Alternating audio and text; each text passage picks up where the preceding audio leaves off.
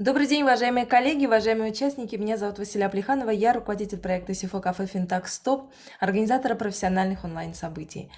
Друзья, в рамках сегодняшнего вебинара, который мы организовываем с нашим партнером аудиторской консалтинговой компании «Правовест Аудит», мы разберем самые актуальные на сегодняшний день вопросы, с которыми сталкивается бизнес. В общем-то, как работать в условиях кризиса 2022. Разберем сегодня вопросы налогов, валютного контроля, ну и налоговые изменения, которые, несмотря ни на что, мы с вами должны учитывать э, в ближайшей отчетности. А, друзья, сегодняшний вебинар будет состоять из трех частей, и в рамках э, каждой, каждой из этих частей будет посвящена отдельному а, вопросу. И а, мы, конечно, помимо плотной программы, которую подготовили наши спикеры, мы будем рады ответить и на ваши вопросы, поэтому обязательно задавайте их в чате прямо под онлайн-трансляцией. Воспользуйтесь этой прекрасной возможностью получить ответы на свои вопросы прямо здесь и сейчас из э, первых рук. А я рада вам представить нашего первого спикера, друзья. Это Наталья Наталюк, советник налоговой службы э, второго ранга, ведущий юрист по налоговым и гражданско-правовым спорам аудиторской консалтинговой компании «Правовест Аудит», эксперт при Палате общественных уполномоченных по защите прав предпринимателей города Москвы. Наталья нам расскажет про э, то, как, э, какие, какие, что сегодня происходит в сфере налогового контроля, а, как выстраивать правильно сегодня взаимоотношения с контрагентами, что нужно учесть в договорах. В общем, поэтому я с радостью передаю слово Наталье и напомню, что ждем ваши вопросы в чате. Наталья, вам слово. Василя, спасибо большое. Дорогие наши участники, всем самое доброе утро. Ну, как сказала Василя, первая часть посвящена налоговому контролю и рискам, связанным с, договорами, а именно как работать с контрагентами, форс-мажор, изменения существенных условий договора и так далее. Вот, поэтому а, в первую очередь, конечно же, хотелось бы а, отметить э, налоговые меры поддержки, да, потому что здесь очень много таких вот важных моментов, связанных с мораторием на налоговые проверки, есть определенная путаница – потому что есть ряд постановлений, э, которые касаются именно иных проверок, и некоторые считают, что уже налоговые проверки запрещены. На самом деле это не так. Ну, как говорится, давайте обо всем по порядку. Что касается налогового контроля, ну, как уже у нас так сложилось, э, традиция определенная, да, поговорим о цифрах и фактах. Неспроста, потому что нужно понимать, что вообще обязанность по уплате налогов по соблюдение норм действующего законодательства, конечно же, никто отменять не будет. И всегда нужно держать ухо востро, несмотря на то, что жизнь вносит определенные коррективы. И вот, на мой взгляд, сейчас а, бизнес поделился, наверное, на три таких важных категории. Основные – это те, кто считает, что ну да, сейчас самое главное выжить, и можно экономить на всем, что угодно, и можно забыть о, о нормах действующего законодательства. Ну, мягко говоря, это не так. Почему? Потому что в любом случае, если даже опустить э, руки, я думаю, что это не наш с вами случай, а, то даже если компания, да, довести ее до банкротства, нужно понимать, что нужно исключать э, риски, связанные с преднамеренным банкротством, связанные с субсидиарной ответственностью руководителей или бухгалтеров. Ну, вторая категория, то есть это выжидательная, да, но сейчас посмотрим, как будет, что здесь в любом случае нужно соблюдать нормы действующего законодательства, в том числе, конечно же, и налоговые, учитывать все изменения и искать, наверное, законные а, методы для того, чтобы а, где-то, возможно, сэкономить, найти соответствующие резервы, воспользоваться, в конце концов, льготами, преференциями, которые нам представляются в виде господдержки. Ну и третья категория, э, действительно, которая видит уже и возможности в любой ситуации, э, развитие, как говорится, любой старт, новые направления, развитие, конечно, тоже требует определенной подготовки, в том числе и проверки этой компании, все ли хорошо в плане учета, в плане наличия необходимой документации, разрешительной, соблюдаются ли нормы действующего законодательства для того, чтобы претендовать на какие-то преференции, в том числе и по господдержке. Что касается нашего любимого налогового контроля. Ну, обратите внимание, вот неспроста, опять же, поднимаю эту тему по доначислению на одну выездную налоговую проверку. Мы с вами прекрасно помним период 2020 года, тоже, когда был введен мораторий на выездной налоговый контроль, причем смею напомнить, что у нас э, камералки никто не отменял, и предпроверочный анализ в период моратория на выездной налоговый контроль действовали, работали замечательно. Все многие, э, наверное, многие отметили то, что а, получали соответствующие требования представления документов, просто нескончаемое пояснение представить, э, описать ту или иную ситуацию в взаимоотношениях с контрагентами, с рядом контрагентов. Ну вот цифры говорят сами за себя. Смотрите, как раз мораторий 2020 год, вот до начисления ничуть по не, не упали, особенно по Москве, они даже выросли по сравнению с 2019 годом. То есть, как говорится, наверстали упущено, и мораторий, конечно, на протяжении там, целого года вводить никто не собирается, какой-то определенный промежуток времени. И в любом случае в этот отведенный промежуток времени тоже действительно нужно соблюдать нормы действующего законодательства и быть уверенным в налоговом здоровье своей компании. Как мы с вами часто говорим, не только для того, чтобы исключить налоговые риски, но, конечно, постраховать себя как собственника, как руководителя, как бухгалтера от той же самой субсидиарной ответственности. Сейчас очень много вопросов задают по банкротству, а будет ли волна взрывная такая вот рост а, банкротства в связи с тем, что вот эти вот ограничения, различные санкции и прочие-прочие моменты. Конечно, ситуация, как говорится, не из легких, но э, тем не менее, тем не менее, давайте учитывать э, то, что все-таки господдержка должна быть и какая есть на сегодняшний день, о ней как раз, поговорим. А пока хочу сделать такой важный акцент, то, что говоря о субсидиарной ответственности за налоговые долги компании на сегодняшний день, а именно за период даже 2021 года, 2022 год, у нас Федеральная налоговая служба является таким вот элитным кредитором и занимает второе лидирующее да, такое определенное место среди всех э, кредиторов. И действительно по наличию числа компаний банкротов, как видите, Москва, Санкт-Петербург, Московская область просто лидируют. И очень часто именно основанием для субсидиарки, для взыскания с руководителей собственников бухгалтеров, то есть, ну, как говорится, растут от выездной налоговой проверки. Так вот, давайте банкротство рассмотрим. Тема очень интересная. Налоговая служба с 9 марта, вот как раз на своем официальном сайте опубликовала следующую информацию, то, что а, с 9 марта было принято решение о снижении, а, то есть о приостановлении подачи налоговыми органами заявления о банкротстве должника. А, то есть действительно налоговые органы будут направлены на то, чтобы содействовать реструктуризации задолженности, применению каких-то процедур рассрочек, мировых соглашений и прочее. Ну, меня, в частности, заинтересовала в этой информации следующий такой вот э, момент, то, что не указана дата, до которой ФНС не будет обращаться в суды с соответствующими заявлениями, банкротить компанию. Когда, что, не, непонятно. Но оказалось то, что на самом деле вот э, Минэкономразвития а, действительно немножко планирует вот эту вот историю, связанную с мораторием на банкротство должников, налоговых должников. И на сегодняшний день Федеральная налоговая служба все-таки дала свое добро на то, чтобы не банкротить налоговых должников.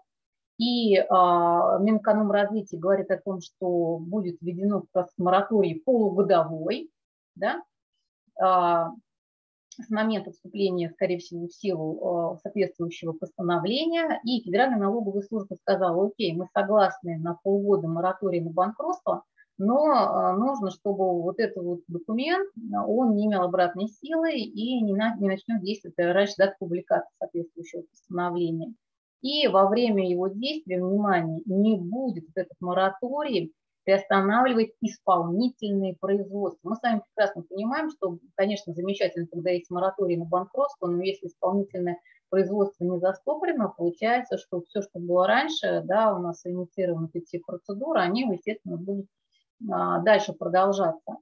И, соответственно, налоговая служба настаивает на том, чтобы вот э, то исполнительное производство взыскания, которое возникло до моратория, его трогать нельзя. То есть, как говорится, механизм запущен, все, это будет работать.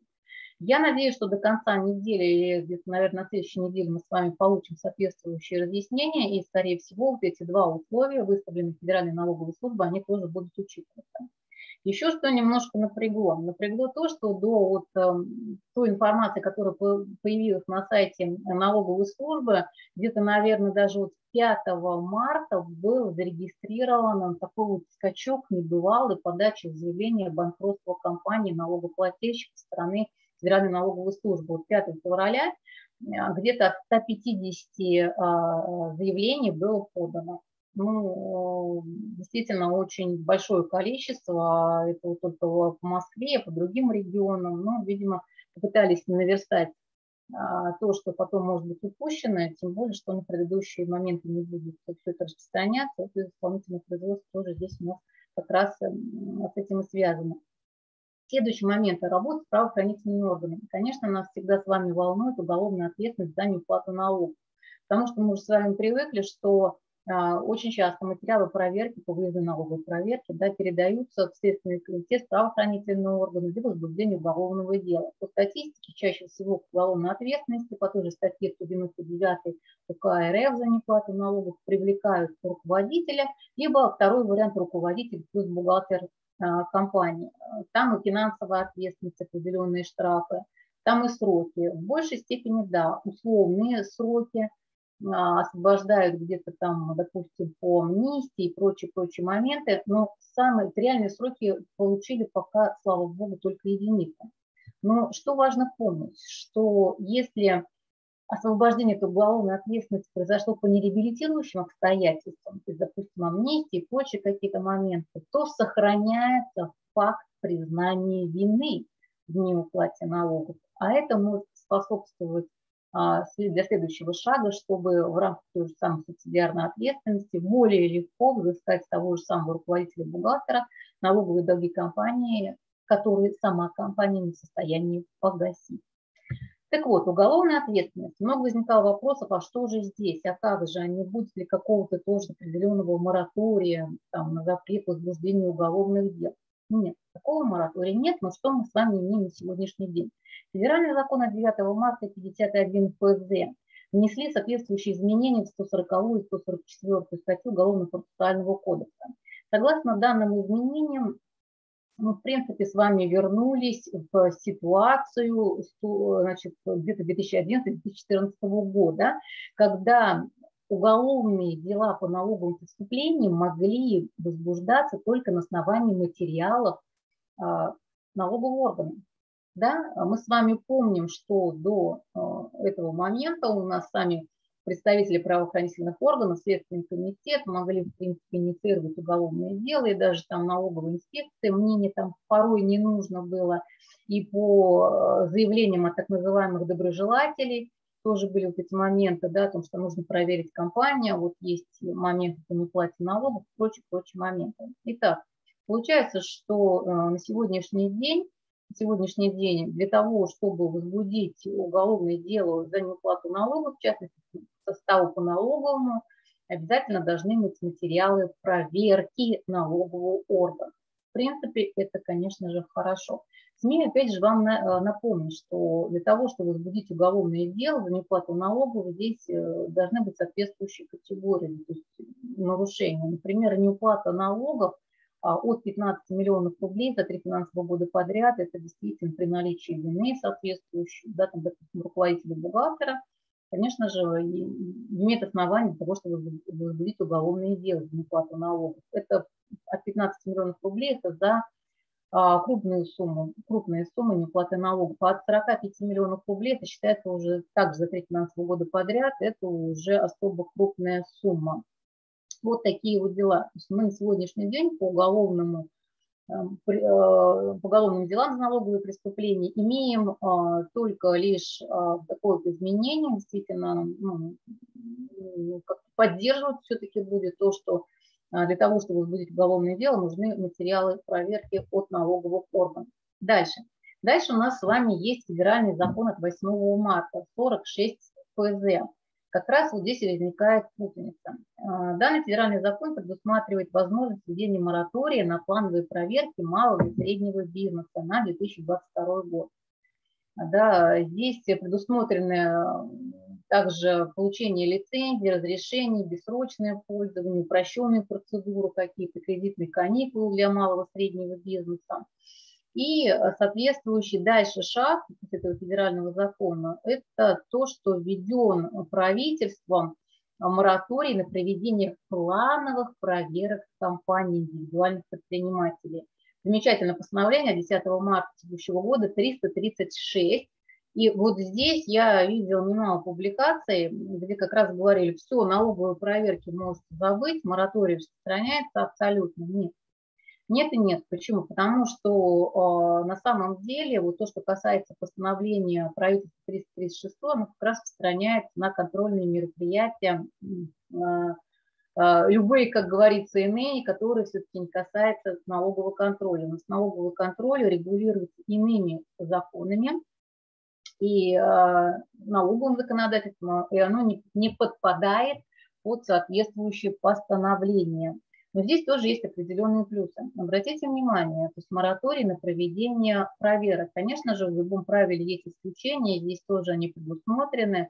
То, что внеплановые э, какие-то проверки, мероприятия допускаются в исключительном случае, но они должны быть, если есть угроза жизни, причинение тяжкого вреда здоровью гражданину, обороне страны, безопасности государства и прочее, прочее, прочее. То есть неплановые проверки могут проводить поручение президента, правительства РФ, э, прокуратуры и, и так далее.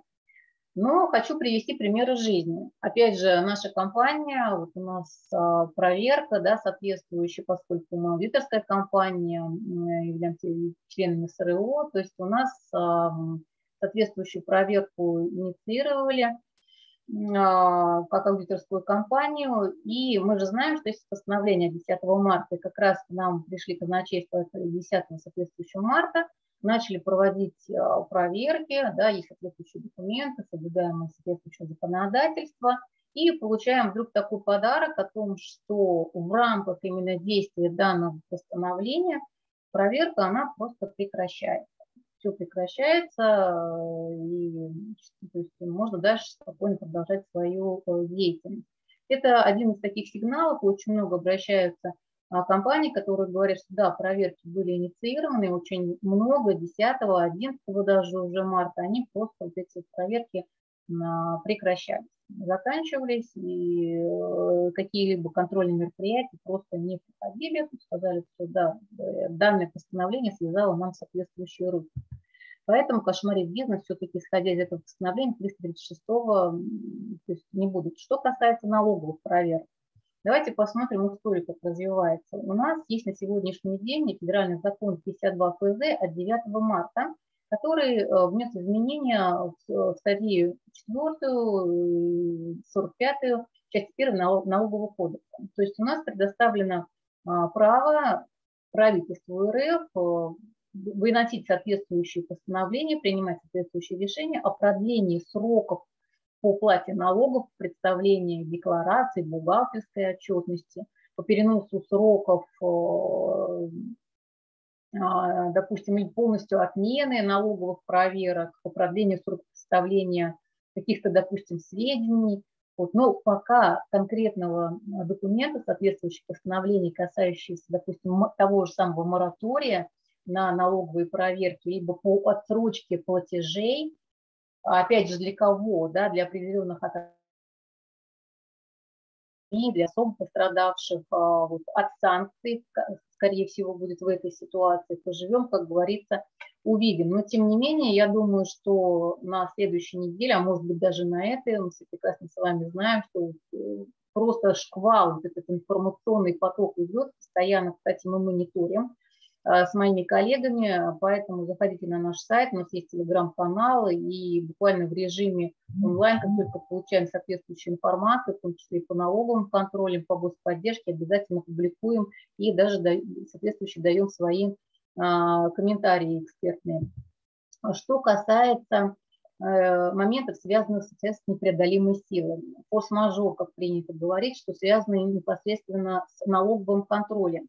Пока у нас нет соответствующего постановления о, от правительства, которое предоставляет законные права на отсрочку платежей, ну, давайте вспомним тогда статью 64 налогового кодекса, а, которая говорит о том, что при недостаточности налогоплательщика денежных средств в связи с причинением ему ущерба, форс-мажором, то, что у нас происходит на сегодняшний день, есть возможность получить отсрочку на сумму, не, а, не превышающую стоимость чистых активов, да, то есть рассрочка по плате соответствующего налога.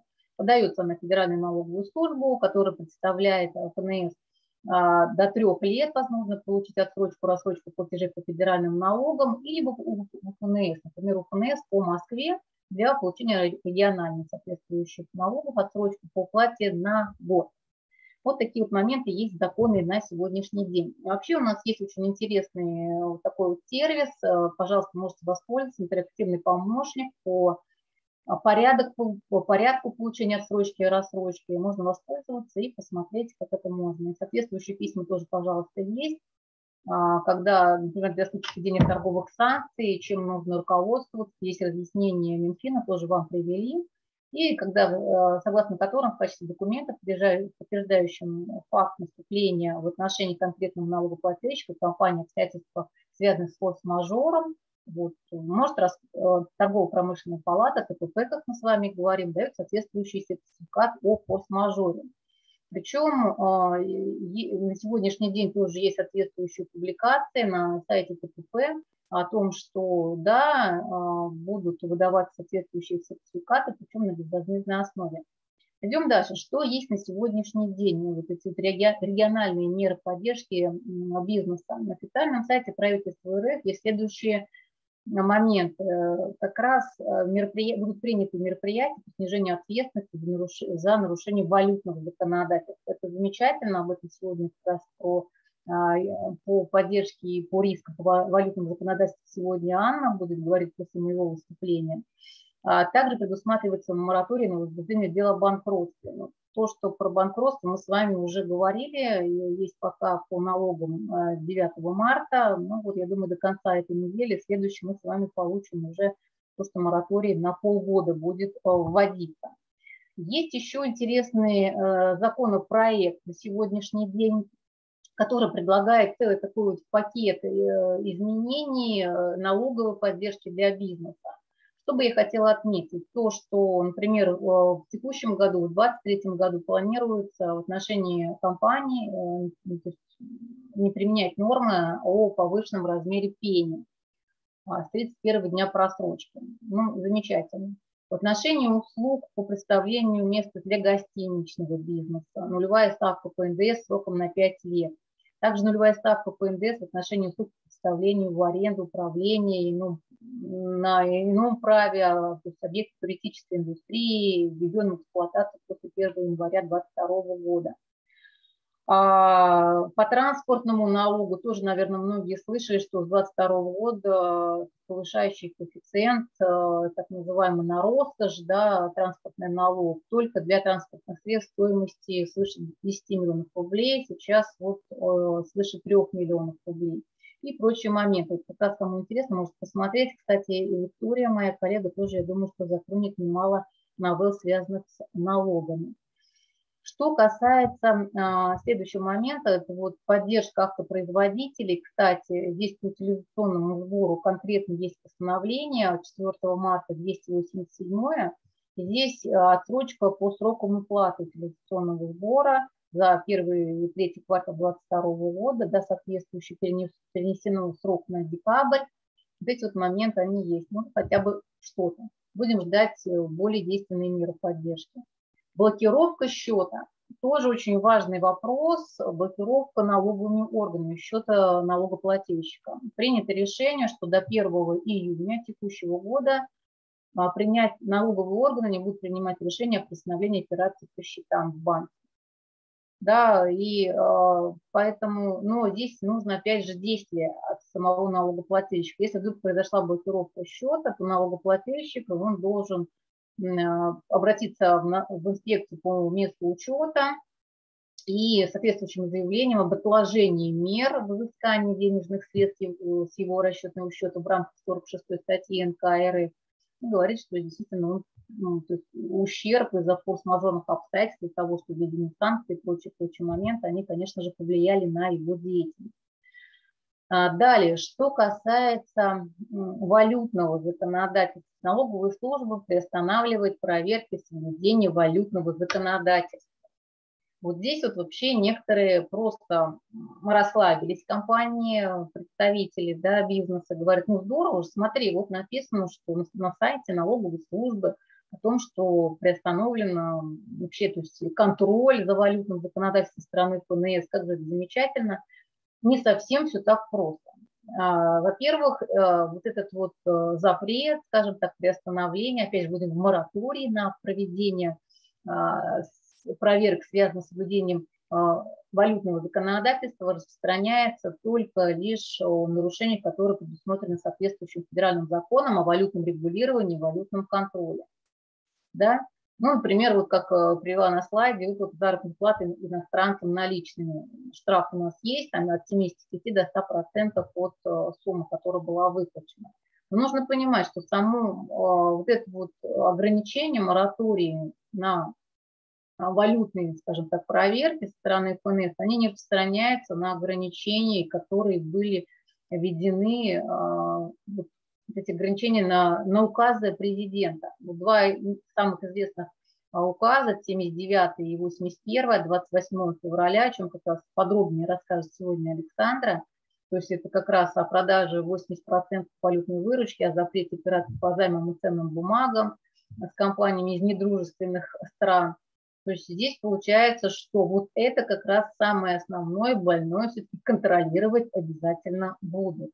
Но налоговые органы могут принимать, кстати, во внимание фактически обстоятельства определенные, соответствующие вина, то есть а, смогли ли вот выручку продать, вовремя не сделали вот эту валюту, 80% э, продажи было или не было, по каким причинам, есть соответствующие объективные основания, а, подействовали как-то вот санкции, и как в качестве смягчающих, либо вообще можно освободить от ответственности, но вот налоговый орган нам говорят, что да, возможно, будем как-то, видимо, помягче подходить к валютному контролю. Ну, поживем увидим, пока вот практики такой нет, но, по крайней мере, компании очень сильно жалуются, что не по их вине, да, вот э, денежные средства, как раз что касается 80% валютной выручки, а вовремя, допустим, там реализовать не получилось, э, и не по вине, по вине там банков, еще какие-то какая-то волокита – тем не менее, на каком основании, если что, вдруг их будут привлекать к ответственности. Кстати, если вообще такая ответственность, тоже вопрос очень сильно э, интересный, а, но я думаю, что об этом как раз Анна, интригу такую Анна расскажет. Что касается договорных рисков. Договорные риски. Здесь, конечно же, самый шквал вопросов связан, а сейчас же форс-мажорные обстоятельства. А что делать? Сейчас будут, будут риски неплатежей, как с нашей, с нашей стороны, так и с стороны контрагента. Ну, опять же, торгово-промышленная палата 9 марта э, выпустила два приказа, 24 и 25, согласно которым период с 10 марта по 30, по 30 апреля э, будет торгово-промышленные палаты, будут организовывать работу на бесплатной основе, как вам говорила, выдавать соответствующие документы, свидетельства подтверждающие обстоятельства непреодолимой силы, форс-мажорные, по договорам, контрактам в рамках внутрироссийской экономической деятельности, внутри России, также и по внешнеторговым а, контрактам тоже обязательно будет, вот соответствующий 24 и 25 приказ, он есть. Поэтому можно обращаться абсолютно тоже на безвозмездной основе, будут выставляться соответствующие сертификаты. Вот свидетельствование о обстоятельствах непреодолимой силы, то есть форс-мажор. Дальше, что касается форс-мажор. Ну, первое, как раз о чем говорят многие юристы на сегодняшний день, а является то, что сегодня происходит, эти всевозможные санкции, небывалые, да, а, и которые очень сильно отражаются на, на деятельности многих компаний, практически всех. А, вот что у нас происходит, вот могут, можно ли будет э, в такой ситуации например, а, использовать вот эти вот скачки курсовые, то, что экономический кризис как основание а, существенных изменений обстоятельств. Э, то есть применять статью 451 ГК РФ и на основании этих обстоятельств попытаться изменить условия договора, да, там, либо расторгнуть вообще договор, если он мне не угоден. Потому что в момент заключения договора, это логично, да, а, я все-таки думала, что будет одна ситуация, претендовала на, на одну, соответствующую, например, выгоду, а я ее не получаю в связи с тем, что какие-то непредвидимые обстоятельства, они произошли. И мы не могли предвидеть э, разумно о том, что это вообще на самом деле произойдет, то, что мы с вами сейчас переживаем. Вот, а, поэтому здесь, а, что касается вот существенных изменений обстоятельств по 451 ГК РФ, что касается форс-мажорных обстоятельств, сразу просто, чтобы был, было понятно, нужно понимать, что каждая ситуация будет оцениваться индивидуально. Нужно доказать, что это форс-мажор действительно для конкретно, что действительно невозможно было предугадать. Почему? Потому что а, на сегодняшний день ту, тот багаж знаний, ту судебную практику, которую мы с вами имеем, например, курсовые скачки валют, экономический э, вот этот вот какой-то кризис, а, да, пусть общеизвестный, но тем не менее в большинстве своем, исходя из судебной практики, часто не а, признаваться существенным изменением да, а, изменение условий, либо форс-мажорные. Такой судебной практики достаточно много, она будет в презентации, можно будет подробно ознакомиться. Например, очень часто по расторжению договора аренды, обратите внимание, в указывается, что инфляция, финансовый кризис, резкое ухудшение финансового состояния, изменение курса валют и другое не являются существенными изменениями обстоятельств в смысле 451 статьи. Не признавали. Конечно же, очень многие эксперты, юристы отмечают, что то, что судебная практика сложилась раньше, она касается ситуации, которые несколько, мягко говоря, отличаются. Но тем не менее, когда отстаивать свой интерес, попытаться изменить условия договора, попытаться расторгнуть договор, поскольку он невыгоден, а порой уже просто, скажем так, может привести к тому, что а, не получу то, что я хотела, либо не могу выполнять обязательства в силу того, что есть какие-то форс-мажорные обстоятельства – в любом случае, а, я думаю, что практика будет формироваться, поживем, увидим. Может быть, суды все-таки будут по-другому смотреть, но тем не менее, помимо отрицательной практики, а, нашли, вот постарались еще положительную динамику курса валют. Опять смотрите, то, что как раз многие ссылаются, не является основанием для изменения условий договора. Ну, таких вот примеров очень и очень много.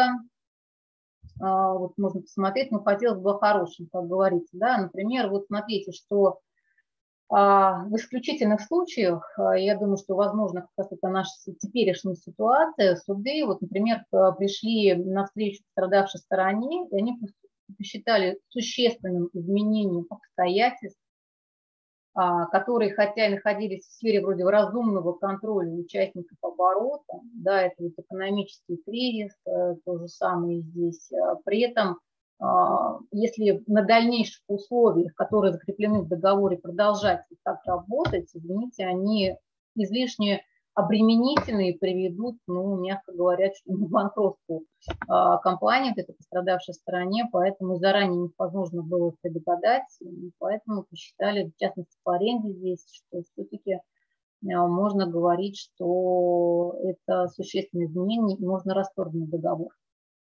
А, Причем, обратите внимание, что было замечено исходя из той практики, которая есть. Например, существенные изменения обстоятельств вот это колебание, изменение курса валют, что сейчас как раз мы с вами переживаем, было признано действительно существенным изменением с, с возможностью там, внести изменения в договор, либо полностью расторгнуть его.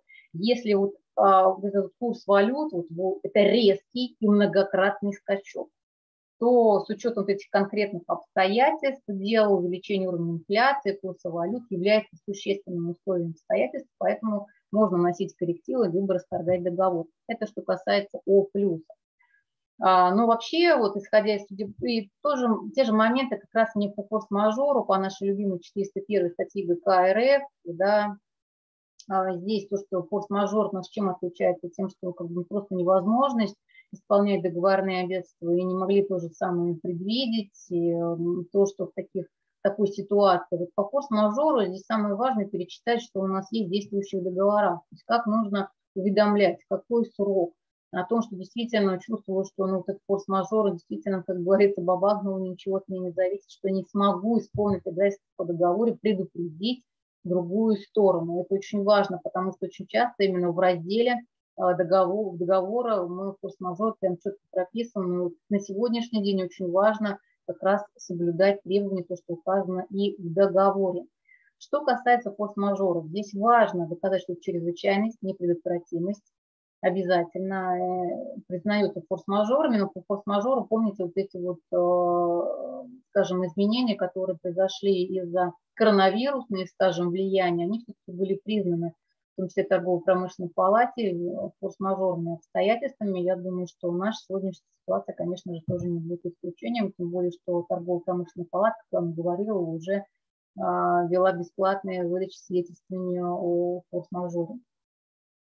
Поэтому, что касается а, таких вот моментов, связанных по судебной практике, здесь тоже очень много и отрицательных, конечно, но и тем не менее положительную практику хочу озвучить, что, например, форс-мажор – как раз, как раз что касается сегодняшней ситуации, запретительные меры государств, как мы с вами сейчас говорим, недружественных, запрет торговых операций, в том числе отдельными странами вследствие принятия международных санкций, является обстоятельством непреодолимой силы. Однозначно mm-hmm. получается соответствующий форс-мажор и есть соответствующее постановление правления ТПП. Пожалуйста, посмотрите, поэтому если я считаю, что сегодняшняя ситуация все-таки будет приравнена к форс-мажором а, однозначны, поэтому свидетельства соответствующие нужно получать и а, пользоваться соответствующими а, льготами, господдержкой. И не забывайте о действующих договорах, потому что я считаю, что на сегодняшний день как раз вот все, что касается риски неплатежей, то, что курсы валют, попытаться по-любому решить своим контрагентам, прийти к какому-то определенному консенсусу, нежели биться, как говорится, в суде.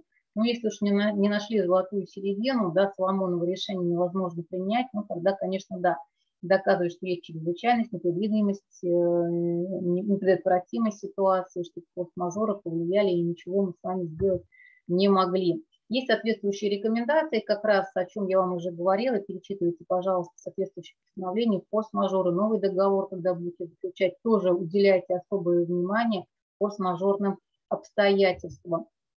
И вообще на сегодняшний день, опять же, как резюме, хочу сказать о чем? О том, что в плане налогов, налоговых обязательств, налогового контроля однозначно расслабляться не стоит. Я думаю, что те цифры, которые привела я еще за 2020 год, э, когда а, был связан как раз эти меры а, по защите от коронавируса, моратории и прочие-прочие моменты, они все-таки ну, сильно на налоговый контроль как-то не повлияли. Это раз, все-таки наверстали, как говорится, упущенное, перепроверили, посмотрели, доначислили. И более того, есть такой акцент по смещению доначислений бюджет не только в рамках выездного налогового контроля, но чаще всего э, в рамках предпроверочных. Поэтому предпроверку, конечно, никто не будет э, отменять, я думаю, что поэтому требования представления документов и информации тоже здесь нужно держать ухо востро. Причем мы часто с вами говорим, есть и моменты, связанные с тем, что пытаются налоговые органы незаконно получить какую-то информацию –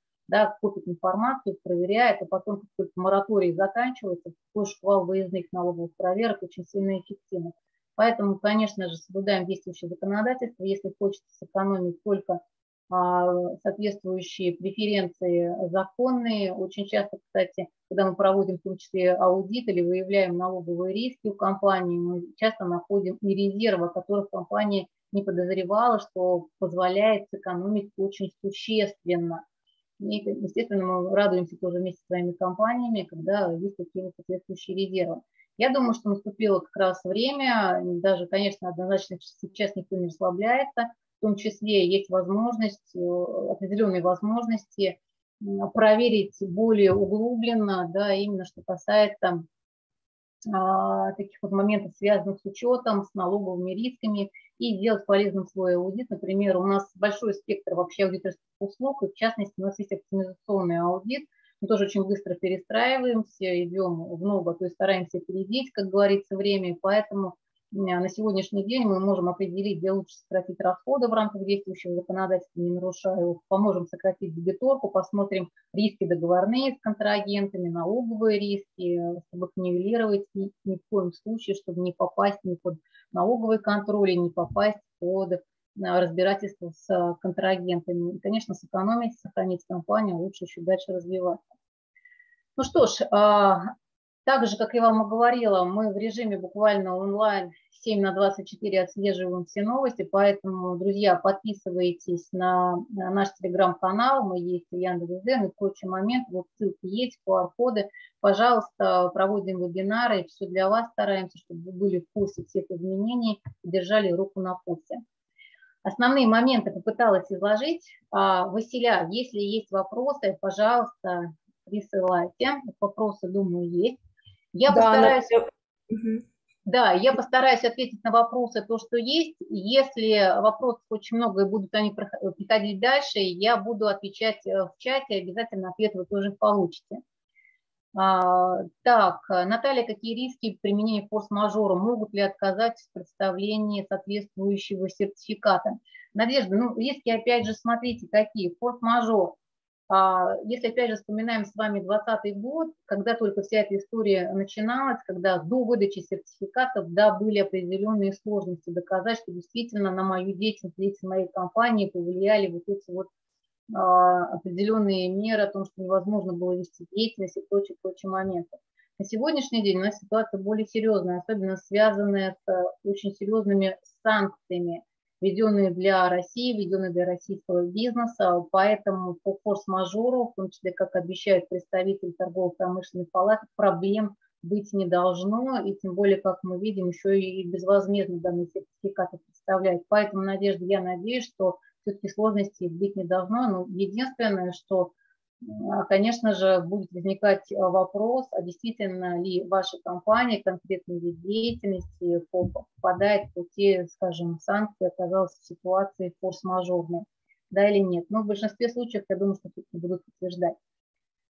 Где-то прошла информация, что хотят принять упрощенную процедуру ликвидации организации, если у нее нет долгов перед бюджетом.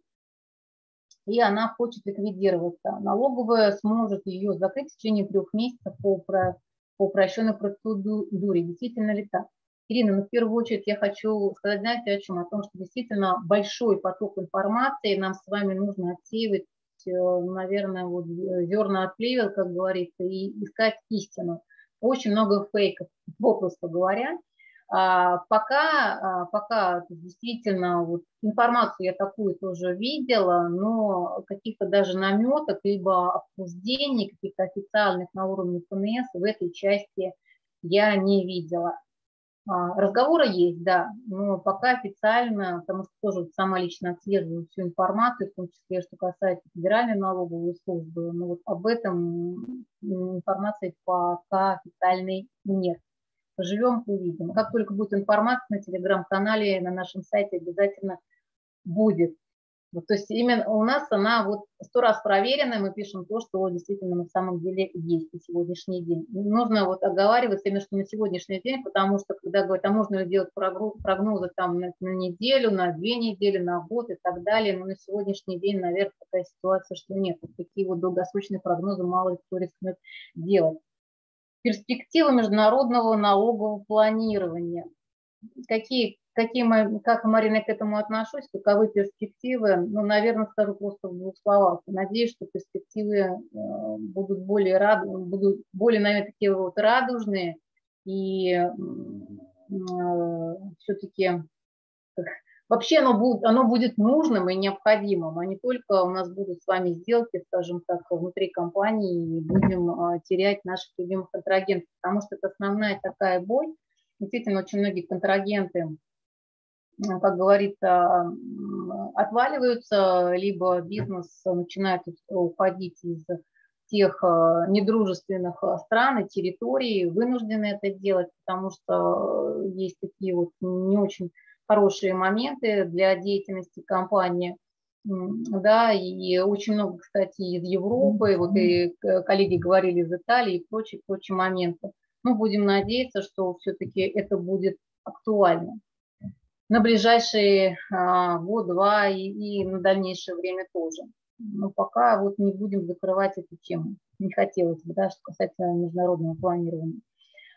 А, Э, так, то есть э, расторгнуть договор аренды можно без штрафных э, санкций. Ну вот однозначно, Юль, я так не могу сказать, потому что в первую очередь я не вижу ваш договор аренды. все сугубо индивидуально. Для того, чтобы дать однозначный ответ, нужно ознакомиться с вашим договором, какие есть условия, прочие моменты, да, и действительно ли повлияла та или иная ситуация, в том числе и форс-мажорная, или мы говорим о существенных изменениях обстоятельств на наши взаимоотношения с арендодателем. Так, потому что судебную практику, вот обратитесь как раз по штрафным санкциям, и, кстати, в презентации Юли она и есть, очень много примеров именно по аренде, потому что в 2020 году вот эта вот эпопея как раз по аренде действительно очень много было споров. И там, кстати, отказов очень много было и по форс-мажорам, и по существенным изменениям а, условий, поэтому мы с вами сейчас можем только предполагать. Будем надеяться, что все-таки история будет другая, более позитивная, потому что есть серьезные ограничения, еще раз скажу, что не было в 2020 году, и все-таки будем, будем надеяться, что это будет признаваться форс-мажором. А так, если есть вопросы конкретно по вашим договорам, пожалуйста, вы пишите, звоните, всегда открыты к общению, тем более, что у нас есть и поддержка тоже антикризисная, поэтому действительно мы отвечаем на вопросы, пишите, звоните постараемся обязательно помочь. Спасибо большое. Передаю слово своим коллегам. Да, Анне. Анна, здравствуйте. Василя. Добрый день, Наталья. Да, Наталья, спасибо огромное. Друзья, я вижу вопросы по поводу презентации Натальи. Обязательно видеозапись и презентации наших сегодняшних спикеров будут вам доступны. Мы их э, опубликуем прямо на этой странице, где вы сейчас смотрите э, прямой эфир и сделаем отдельную рассылку после того, как э, опубликуем, и материалы будут доступны. Поэтому обязательно все материалы вам будут доступны, и контакты наших спикеров тоже. Вы сможете с ними, а, если после эфира появятся какие-то дополнительные вопросы, уже напрямую обсудить. А мы с вами движемся, друзья, дальше. И наша следующая тема а, касается валютного законодательства. А, в этой сфере произошло очень много изменений, происходит постоянно в последнее время. Поэтому мы попросили а, рассказать нам подробнее, к чему, как применять эти инновации нашего следующего спикера. Анна Александрикова, руководитель юридического отдела компании Freelines Company. Анна, с радостью передаю вам слово. Спасибо, Василия. Добрый день, коллеги. А, я представляю компанию, а, транспортно-экспедиционную компанию. А, мы предоставляем услуги международной логистики. Также в группе компаний есть компании-импортеры, поэтому, в общем-то, вопрос валютного регулирования для нас важен, и мы вынуждены в это достаточно глубоко погружаться, дабы избежать нарушений нынешнего законодательства, которое действительно очень стремительно изменяется. Надо сказать, что а, с продажи валютной выручки российский бизнес, а, он знаком был и ранее, а, в частности, После августовского дефолта 1998 года норматив продажной валютной выручки достиг 75%. Ну, то есть, как мы все понимаем, это инструмент регулирования валютного рынка в условиях высокой волатильности валют, а, так вот, в процессе стабилизации экономической ситуации норматив потихоньку снижался и достиг нуля, и с 2007 года был, в принципе, отменен. Сейчас а, в условиях очередного кризиса появился указ президента от 28 февраля 2022 года.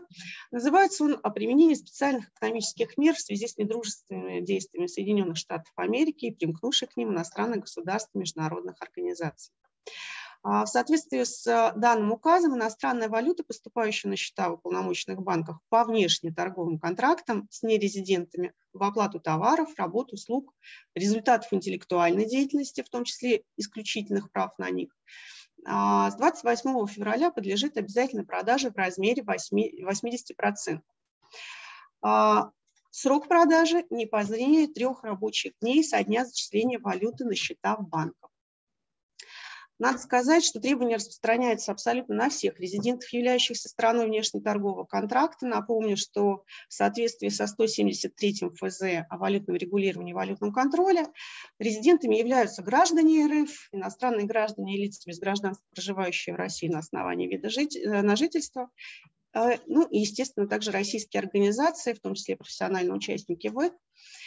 Поэтому а, на вопрос а, требуется ли ИП индивидуальным предпринимателям, а, подпадают ли они под требования данного указа, ответ положительный – да. А, в рамках указа а, мы получили дополнительные разъяснения от ЦБ, в частности, данные разъяснения дают ответы на следующие вопросы. Ну, во-первых, как же производить фактический расчет этих 80%?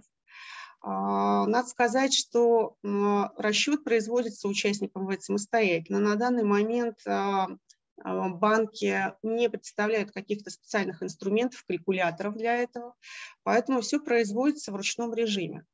Необходимо определить экспортную выручку, которая поступает вам на счет, умножить ее на коэффициент 0,8, вы получаете таким образом объем выручки, который подлежит продаже.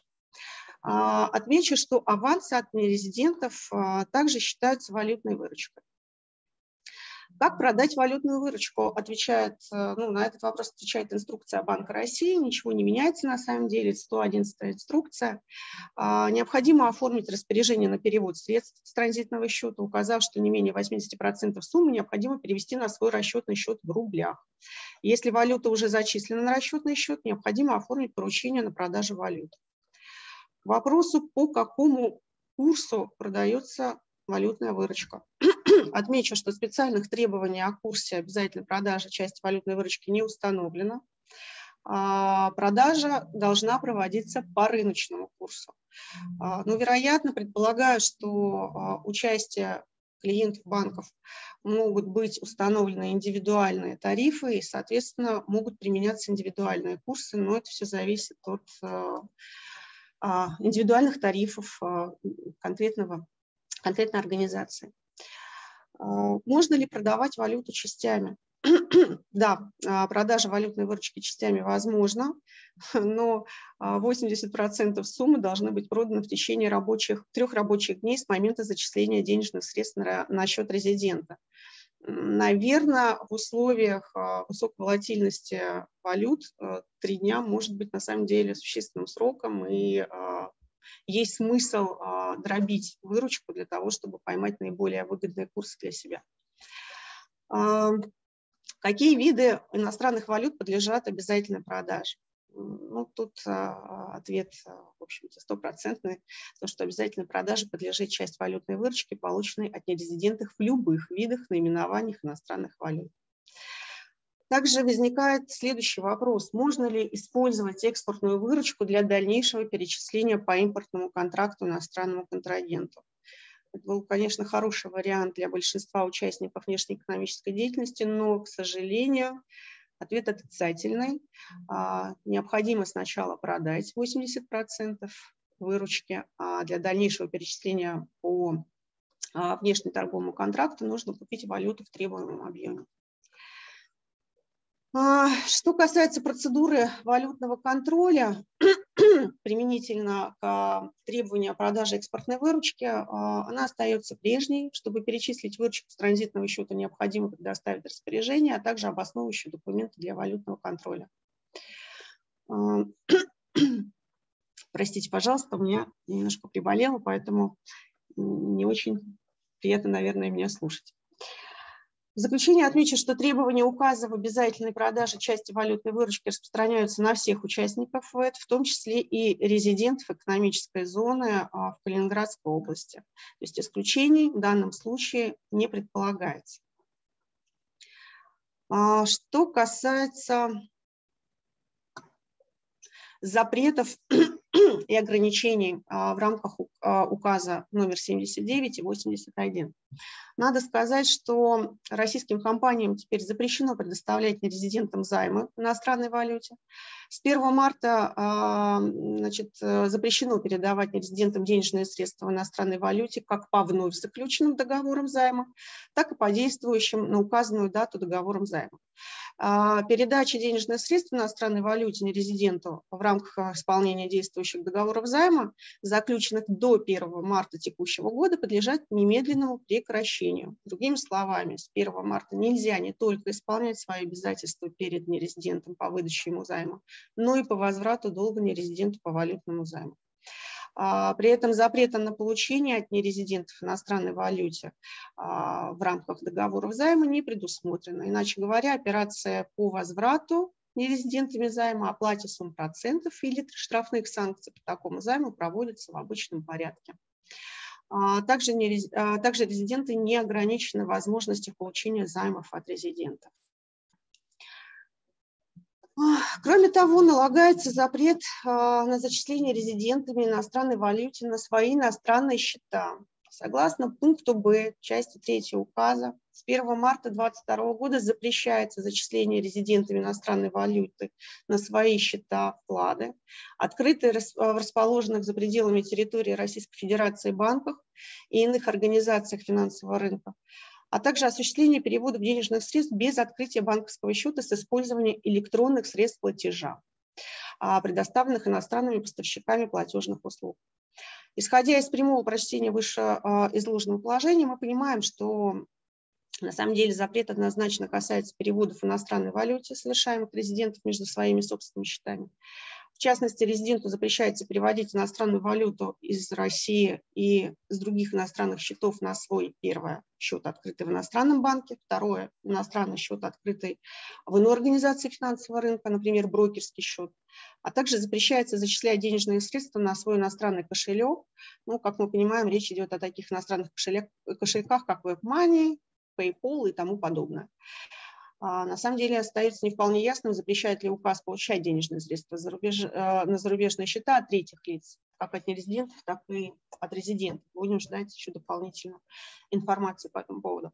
1 а, марта э, был также подписан президентом указ номер 81, который дополнил ранее принятые временные экономические меры в соответствии с э, данным указом со 2 марта в России запрещено вывозить наличную иностранную валюту и или денежные инструменты, это векселя, банковские чеки, а, в такой валюте в сумме, превышающей эквивалент 10 тысяч долларов США по официальному курсу ЦБ на дату вывоза.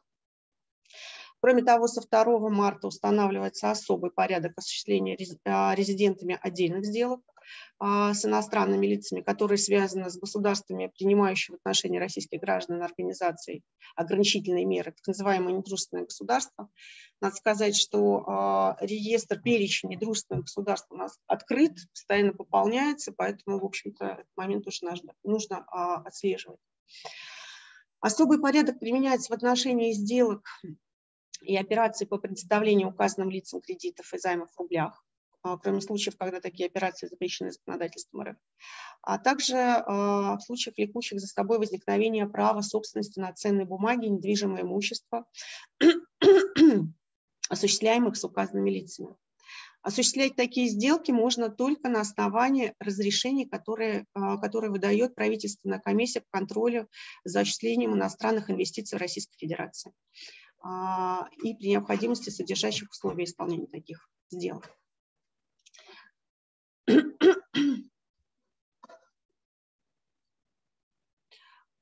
А, очень важный вопрос в нынешних условиях – это вопрос репатриации валютной выручки. А, все с этим сталкиваются участники внешнеэкономической деятельности. В принципе, это и в обычных условиях достаточно такая насущная проблема. Напомню, что такое репатриация. А, репатриация а, валютной выручки определено законом 173 о валютном регулировании и валютном контроле. А, текущее законодательство обязывает экспортеров, кроме несырьевых, сообщать банку в точные сроки, прописанные во внешнеторговых контрактах, и перечислять валютную выручку на счета в российских банках в соответствии с этими сроками. А, на самом деле аналогичное требование возлагается и на импортеров, в частности, на возврата валютных авансов, уплаченных за рубеж, за товары, которые оказались не поставлены. А, ну, в нынешних условиях это высокие риски непоставки товаров, потому что многие поставщики, в принципе, даже если нет а, прямых запретов там, по товарам двойного назначения, они могут, в принципе, из а, своей там, политической позиции отказываться поставлять товар российским компаниям. Поэтому тут вопрос на самом деле остается открытым. А, напомню, а, что если выручка или аванс пришли в банк с опозданием хотя бы там на один день, компанию штрафуют, и а, какие штрафы предусмотрены за нарушение сроков репатриации. За каждый день просрочки нужно заплатить одну 150-ю ключевой ставки ЦБ, если в итоге валютная выручка возвращена все-таки в Россию. А, ну и плюс ко всему штрафы за невозврат составляют от 5 до 30 процентов от суммы, от суммы средств, которая должна быть репатриирована. Это а, речь идет о валютных оплатах. Что могу сказать по поводу позиции наших, нашего правительства, контролирующих органов валютных? А, на самом деле сейчас рассматривается возможность смягчения ответственности экспортеров за нарушения при получении валютной выручки, которая осложнилась из-за санкций. А, такая мера содержится в одной из версий плана первоочередных действий по обеспечению развития российской экономики в условиях санкционного давления. А, ну, на самом деле подтвердил, подтвердила пресс-служба Минфина. А ожидаемый эффект от меры – это снижение административной нагрузки, исключение рисков необоснованного привлечения к уголовной ответственности за валютные операции при ведении внешнеэкономической деятельности. О пересмотре норм валютного законодательства, в частности, просила Ассоциация банков России а, в письме правительству. Заинтересованность банков объясняется тем, что по операциям российских компаний с иностранными покупателями кредитные организации выполняют функцию агентов валютного контроля. И Ассоциация банков России считает необходимо освободить экспортеров от ответственности за просрочки при получении валютной выручки, которые могут возникать а, в условиях западных санкций. Что конкретно предлагается? Ну, из-за санкций бизнес, занимающихся внешней экономической деятельностью, а также постсанкционные банки столкнулись с трудностями при э, международных расчетах в валюте, с логистическими проблемами, тоже, об этом тоже всем известно, сбоями поставок, увеличением их сроков, ростом транспортных и иных расходов. По оценке ассоциации эти факторы могут вести к нарушениям валютного законодательства по непредвиденным причинам, и для снижения административной нагрузки на участников ВЭК банки сейчас предлагают исключить риски штрафов для экспортеров за просрочку э, получения валютной выручки за поставленный товар, также смягчить требования к срокам репатриации валютной выручки и не предъявлять санкции по, различным нарушениям при оформлении, переводе или закрытии а, контрактов по экспортным сделкам.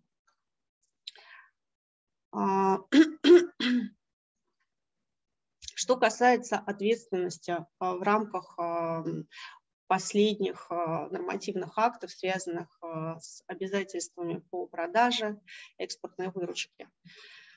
Ну, на самом деле, статья 15.25 КУАП предусматривает меры за нарушение валютного законодательства РФ, актов органов валютного регулирования. В частности, часть первая статьи 15.25 КУАП влечет наложение административного штрафа на граждан, лиц, осуществляющих а, предпринимательскую деятельность без образования юридического лица, юридических лиц в размере от 75 до 100% суммы а, незаконной валютной операции. Но а, при этом отмечу, а, что валютное законодательство, это прежде всего закон а, 173 ФЗ, валютном регулировании и валютном контроле и принятые в соответствии с этим законом иные федеральные законы.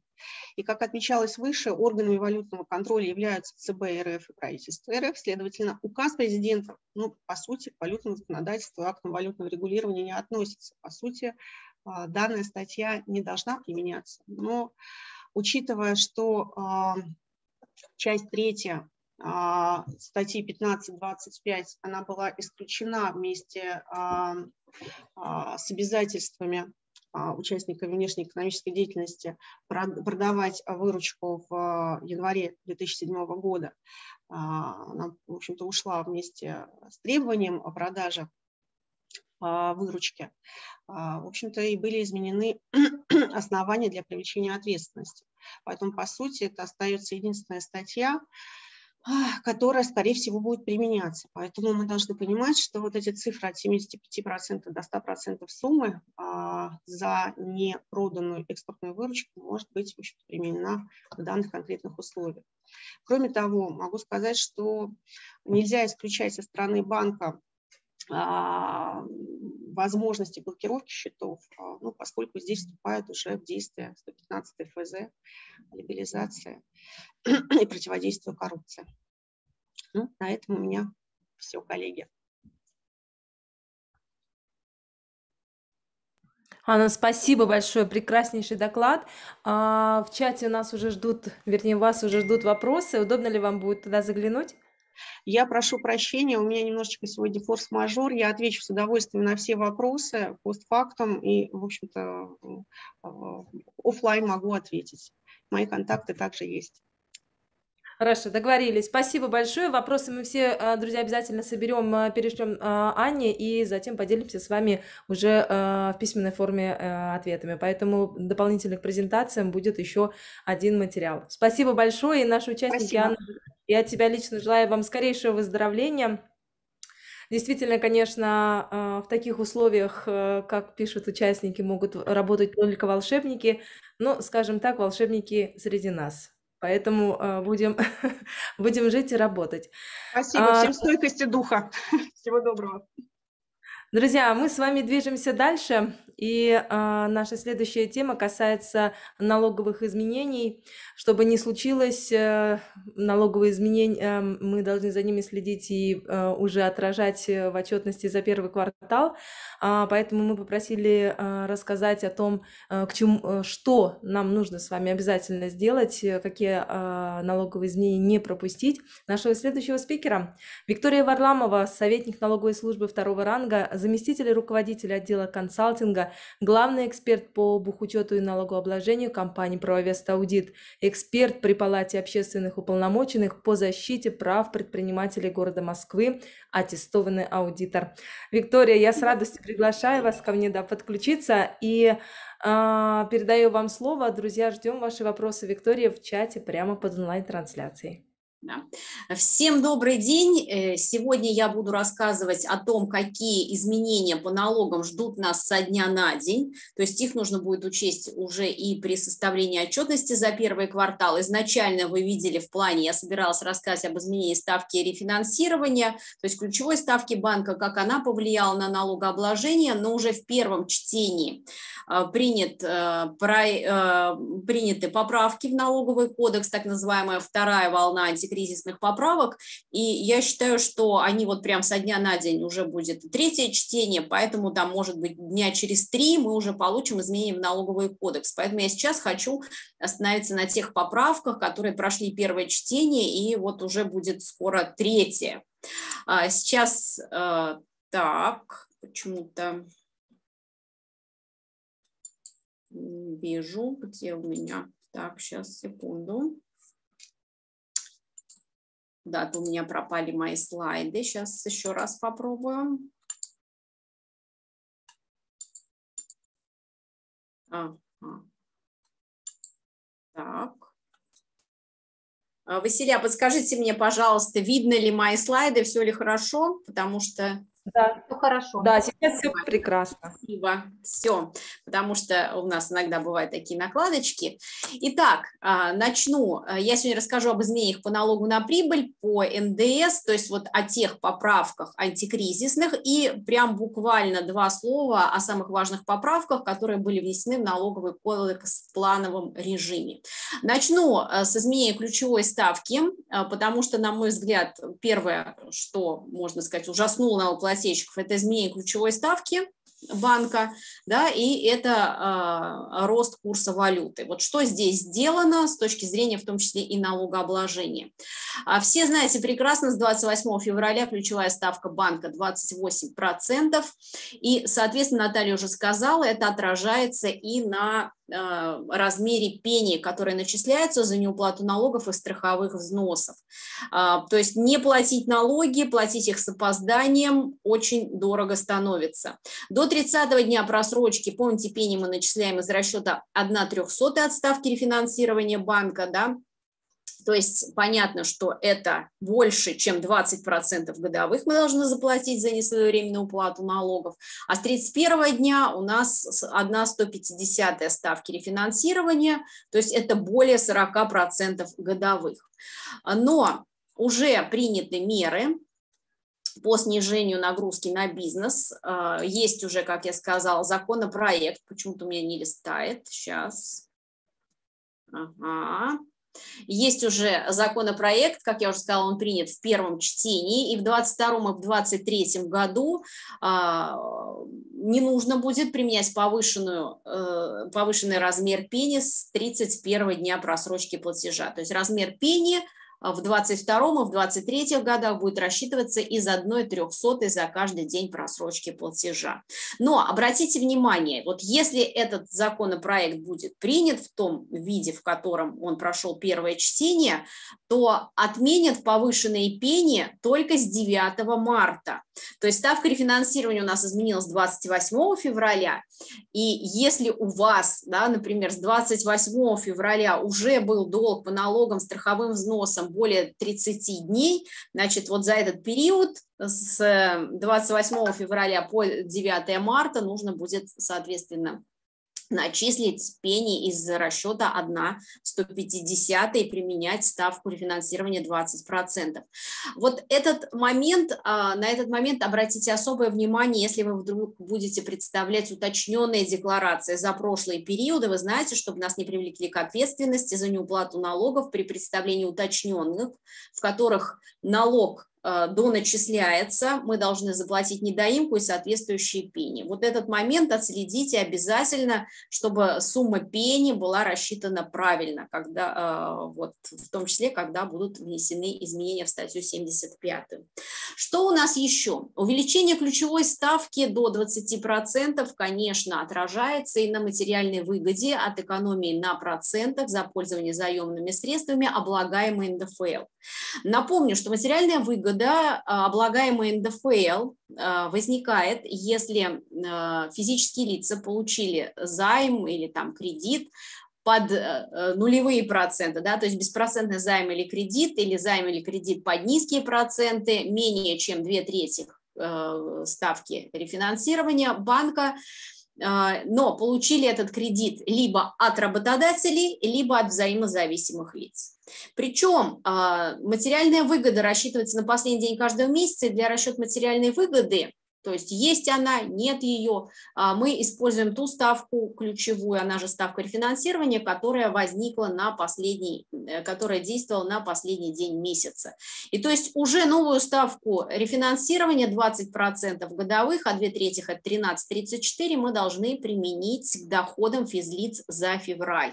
Да, то есть 2 а, трети – это 13,34% годовых. То есть если у вас в договоре с работником или взаимозависимым лицом меньше этой ставки годовых, да, то, соответственно, у работника или взаимозависимого лица, физического лица возникает а, материальная выгода, облагаемая НДФЛ. Но и в этой части уже есть э, изменения, Значит, если законопроект будет принят, то до 2023 года включительно а материальная выгода от экономии на процентах по займам и кредитам по тем договорам, которые будут заключены физическими лицами, то есть которые э, заключены физическими лицами с работодателями, облагаться НДФЛ не будет. Вот так, куда-то я не туда перелистнула, прошу прощения, да, то есть облагаться НДФЛ не будет.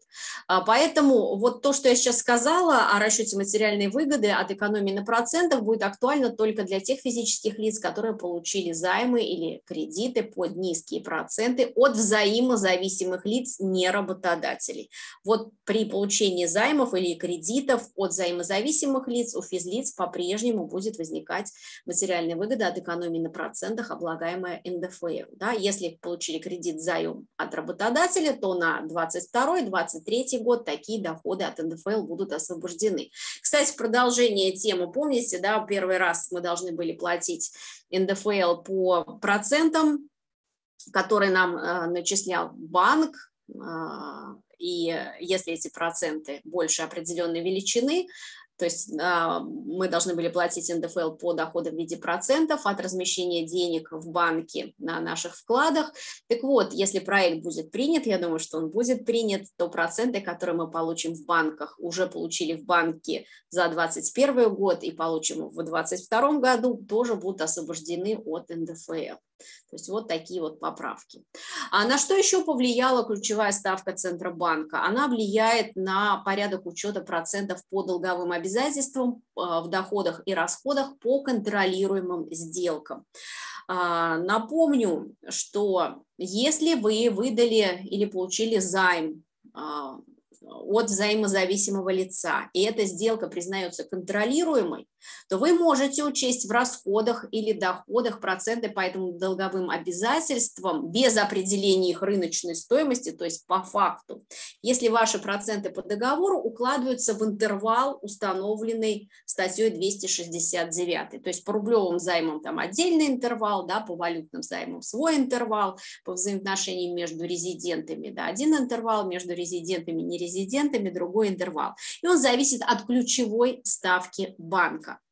А сейчас, а, ну, для кого, скажем так, изменение ключевой ставки а, может повлиять на этот интервал? Для тех налогоплательщиков, которые получили или выдали займы, кредиты по условиям договоров, которых ставка по этим займам и кредитам может меняться. Да, тогда мы должны брать интервал и ключевую ставку для а, расчета этого интервала на последний день каждого месяца. А сейчас если говорить о рублевых долговых обязательствах по договорам, а, которые являются контролируемыми сделками между двумя резидентами, ну вот для примера возьмем, да, то этот интервал составляет от 75 до 120 процентов ключевой ставки. То есть в переводе на ставку рефинансирования 20 процентов, да, на ключевую ставку 20 процентов, этот интервал а, составляет а, от 16 до 25, э, то есть, простите, от 15 до 25 процентов годовых. Но, опять же, есть уже проект, который принят в первом чтении, и если его примут, этот интервал будет расширен. То есть, э, по сути, вернется антикризисный интервал по контролируемым сделкам, который был еще у нас э, в 2020 году. То есть, вот этот интервал по рублевым долговым обязательствам, по сделкам между двумя резидентами, по контролируемым сделкам между двумя резидентами, в частности, да, будет расширен будет составлять от 0 до 100 180% ключевой ставки банка. То есть э, он будет составлять от 0 до 36% годовых. И поэтому, если вы получили или выдали э, беспроцентный займ э, резиденту да, в рублях, то это, а, то есть нулевая ставка будет считаться рыночной. То есть никакие рыночные цены в этом случае, рыночную стоимость процентов определять будет не нужно. Если вы получили займ а, по контролируемой сделке даже по 36% годовых, все 36% годовых в моем примере, если по условиям договора проценты могут изменяться, вы сможете учесть в расходах, не определяя рыночные цены. Но это уже такие изыски, скажем так, бухгалтерские, ну, не так часто э, возникают эти ситуации. Также увеличение ключевой ставки Центробанка отражается на сумме убытков, которые мы можем признать от уступки права требования до наступления срока платежа. Напомню, если мы э, уступаем право требования э, долга После наступления срока платежа, как правило, мы это делаем э, с убытком, то этот убыток учитывается в расходах в обычном порядке, то есть без каких-либо ограничений. Но если мы уступаем право требования по договору, вытекающему из, договору, э, из договоров на реализацию товаров, работ, услуг, да, и уступаем право требования до наступления срока платежа, то этот убыток нормируется. И норматив мы можем считать двумя способами. Первый способ, исходя из рыночных цен, честно сказать, даже не знаю на что, видимо, на услуги услуги факторинга. Вот, но этот способ я еще ни разу не видел, чтобы кто-то применял. Да, и второй способ, мы берем вот этот интервал, то есть максимальную ставку, из интервала для контролируемых сделок по долговым обязательствам. То есть на сегодняшний момент пока в налоговом кодексе максимальный интервал по рублевым долговым обязательствам составляет 125% ключевой ставки, то есть из расчета 25% годовых, да, получается, мы берем и рассчитываем убыток. А если будут приняты поправки, то этот интервал будет увеличен до 180% ключевой ставки, то есть убыток от уступки права требования до наступления срока платежа мы будем рассчитывать уже исходя из 36% годовых, если ставка рефинансирования да, останется также на уровне 20%. То есть на всякий случай напомню, предположим, у вас долг за товары, работу, услуги 1 миллион рублей – вам должен э, э, покупатель заплатить через две недели, но вы хотите деньги сейчас, вы уступаете право требования долга в 1 миллион рублей, например, за 800 тысяч. Хотите 800 тысяч сейчас, да, чем там миллион через две недели. А, то есть у меня в моем примере убыток 200 тысяч. Как я должна посчитать, какую сумму убытка я могу учесть в расходах для налога на прибыль? То есть я беру эти 800 тысяч, которые я получила от уступки права требования, и считаю из расчета или вот на сегодняшний момент 25% ставки э, годовых, да, а если будут приняты изменения расчета 36% э, годовых, сколько за эти 14 дней до наступления срока платежа у меня получится какая сумма процентов э, на мои 800 тысяч, которые я получила от уступки права требований. То есть если эта сумма получится более моего реального убытка, значит, расход я признаю в моем примере 200 тысяч реальный убыток. Если эта сумма получится менее моего реального убытка, скорее всего, так и получится, да, то в расходах я признаю ту сумму, которую вот а, рассчитала по этим правилам. Что у нас еще интересного? Как я уже сказала, также на налогообложении так или иначе отражается рост курса иностранной валюты. И здесь тоже принимаются определенные меры. Сначала в продолжение учета процентов по долговым обязательствам напомню, что если у вас есть долговые обязательства перед иностранными взаимозависимыми лицами, то если этот долг перед иностранными взаимозависимыми лицами. Контролируемая задолженность в три раза превышает размер ваших чистых активов, а для банков и лизинговых компаний в 12,5 раз превышает размер чистых активов, то проценты по этим долговым обязательствам для расходов по налогу на прибыль нормируются.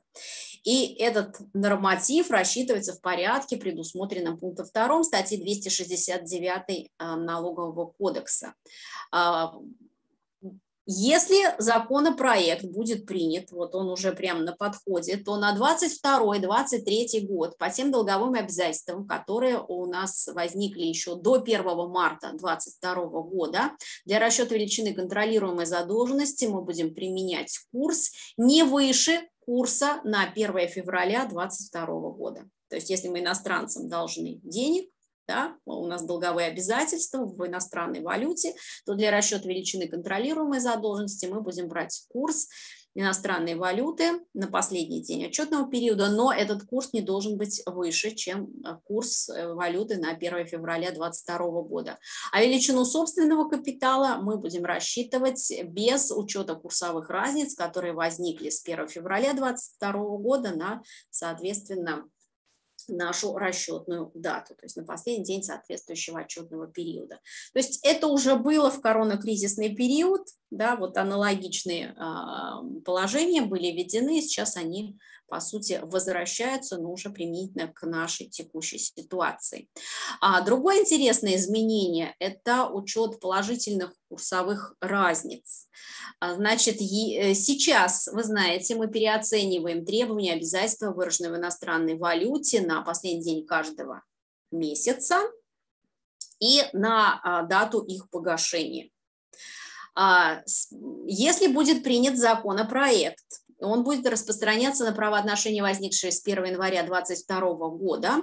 Будут внесены изменения в статью 271, которые будут говорить о том, что датой признания дохода в виде курсовых разниц а, является дата прекращения требований и обязательств.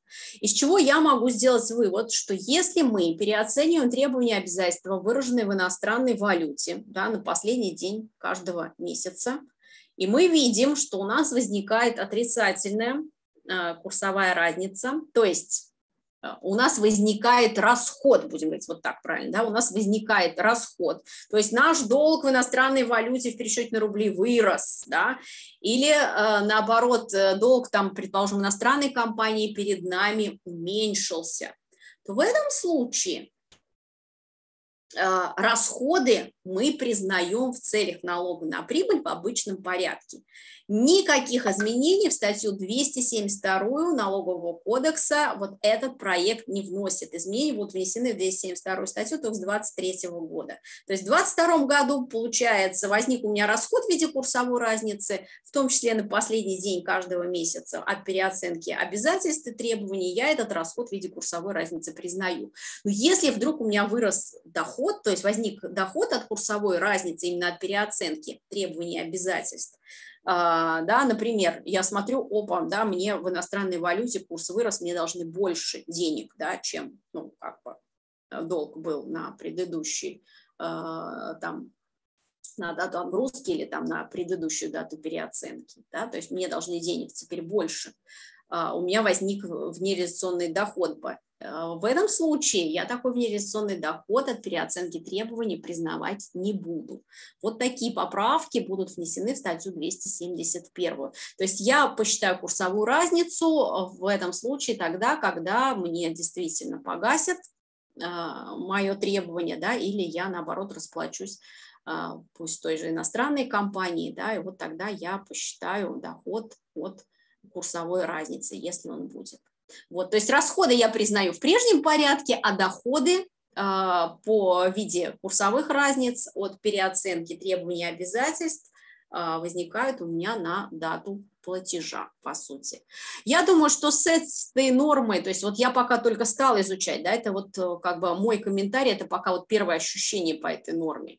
А, потому что думаю, дай-ка я изучу повнимательней те изменения, которые вот вступят со дня на день, да, то есть я не исключаю, что как бы при более детальном из, э, изучении этих поправок там может быть какой-то иной, да, э, трактование то есть вдруг нам Минфин скажет э, тогда, как бы переоцениваете э, требования обязательства исключительно на дату платежа, неважно, да, возникает у вас на последний день каждого месяца доход или расход, да, то есть не трогайте вообще э, эти требования обязательства. То есть такое тоже возможно, но вот пока при моем прочтении, да, первое ощущение получается так. Возникли у меня расходы от, по курсовым разницам от переоценки требований и обязательств, я их признаю. Если у меня возникли доходы, я их не учитываю, да, жду, пока я расплачусь или со мной расплатится. Ну вот пока получается вот так.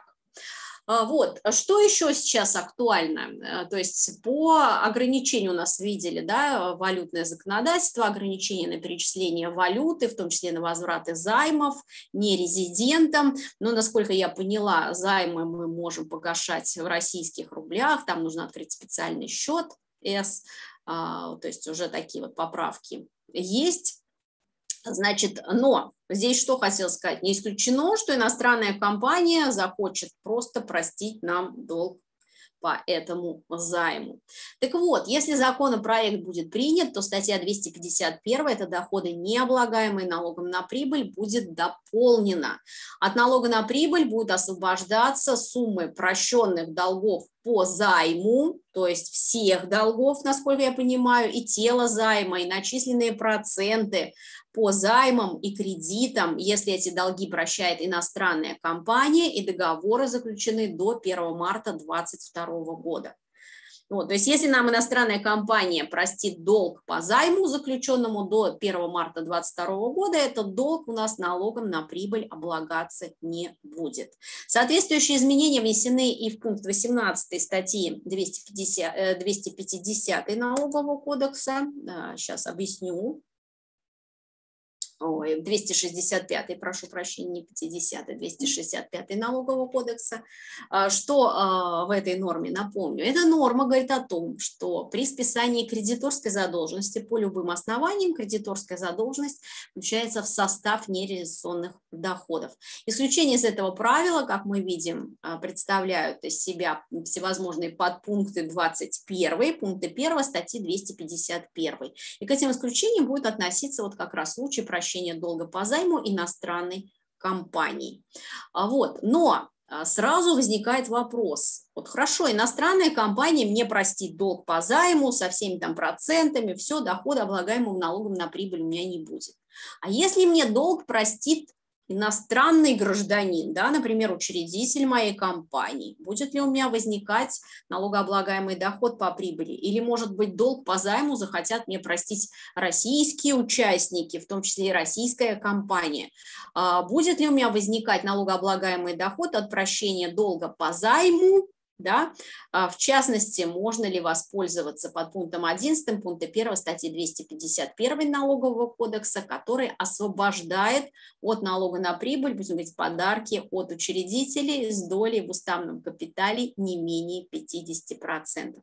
Вот, к сожалению, формально среди исключений, а, которые а, не включаются в состав налогооблагаемых доходов при списании кредиторки, вот этого подпункта 11 пункта 1 статьи 251, освобождающего от налога на прибыль подарки от учредителей с долей не менее 50%, нет.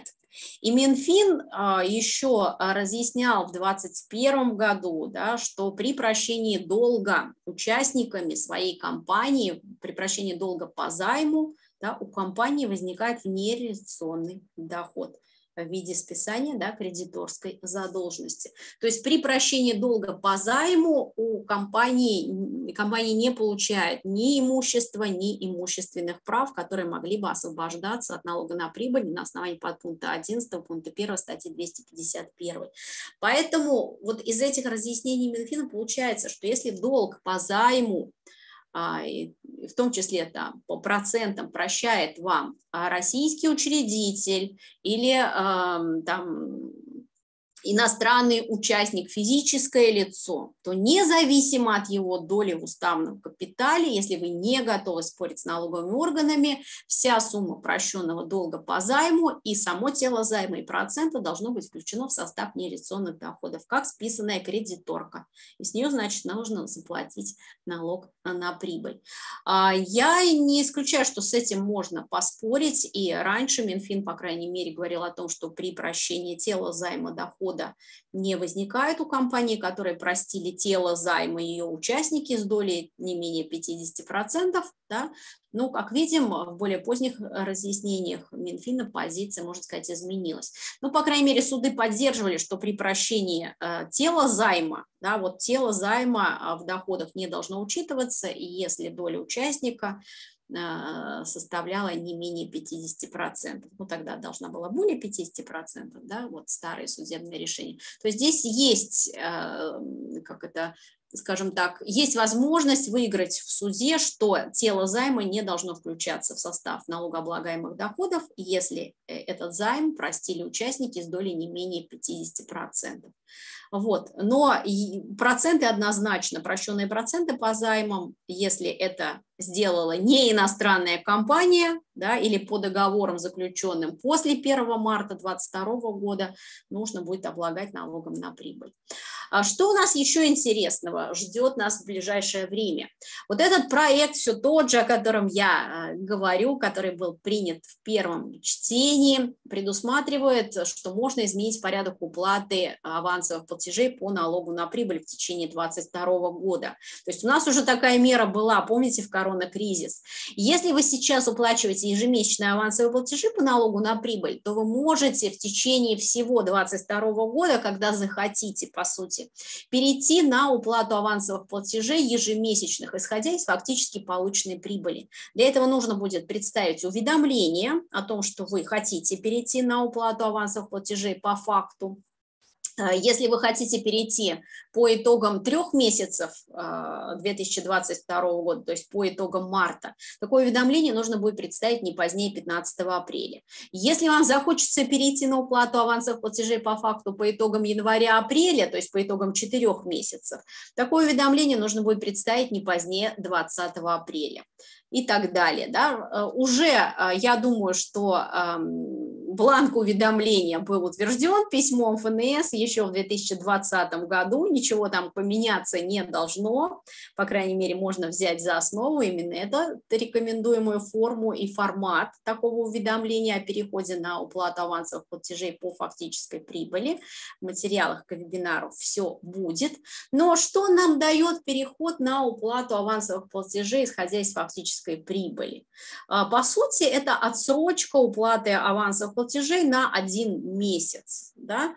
А, то есть э, по э, авансовые платежи в течение квартала за март да, мы должны, в частности, заплатить не позднее 28 марта, а если нам по итогам трех месяцев захочется перейти на уплату авансовых платежей, исходя из фактически полученной прибыли, то авансовый платеж за март мы заплатим не позднее 28 апреля. И то, да, если у нас вдруг прибыли не случится, а, за март да, по отношению, то есть за, скажем так, за февраль была прибыль, да, за январь-февраль была прибыль, которая облагала, а, облагается налогом на прибыль, а мы заплатили там авансовые платежи из расчетной величины.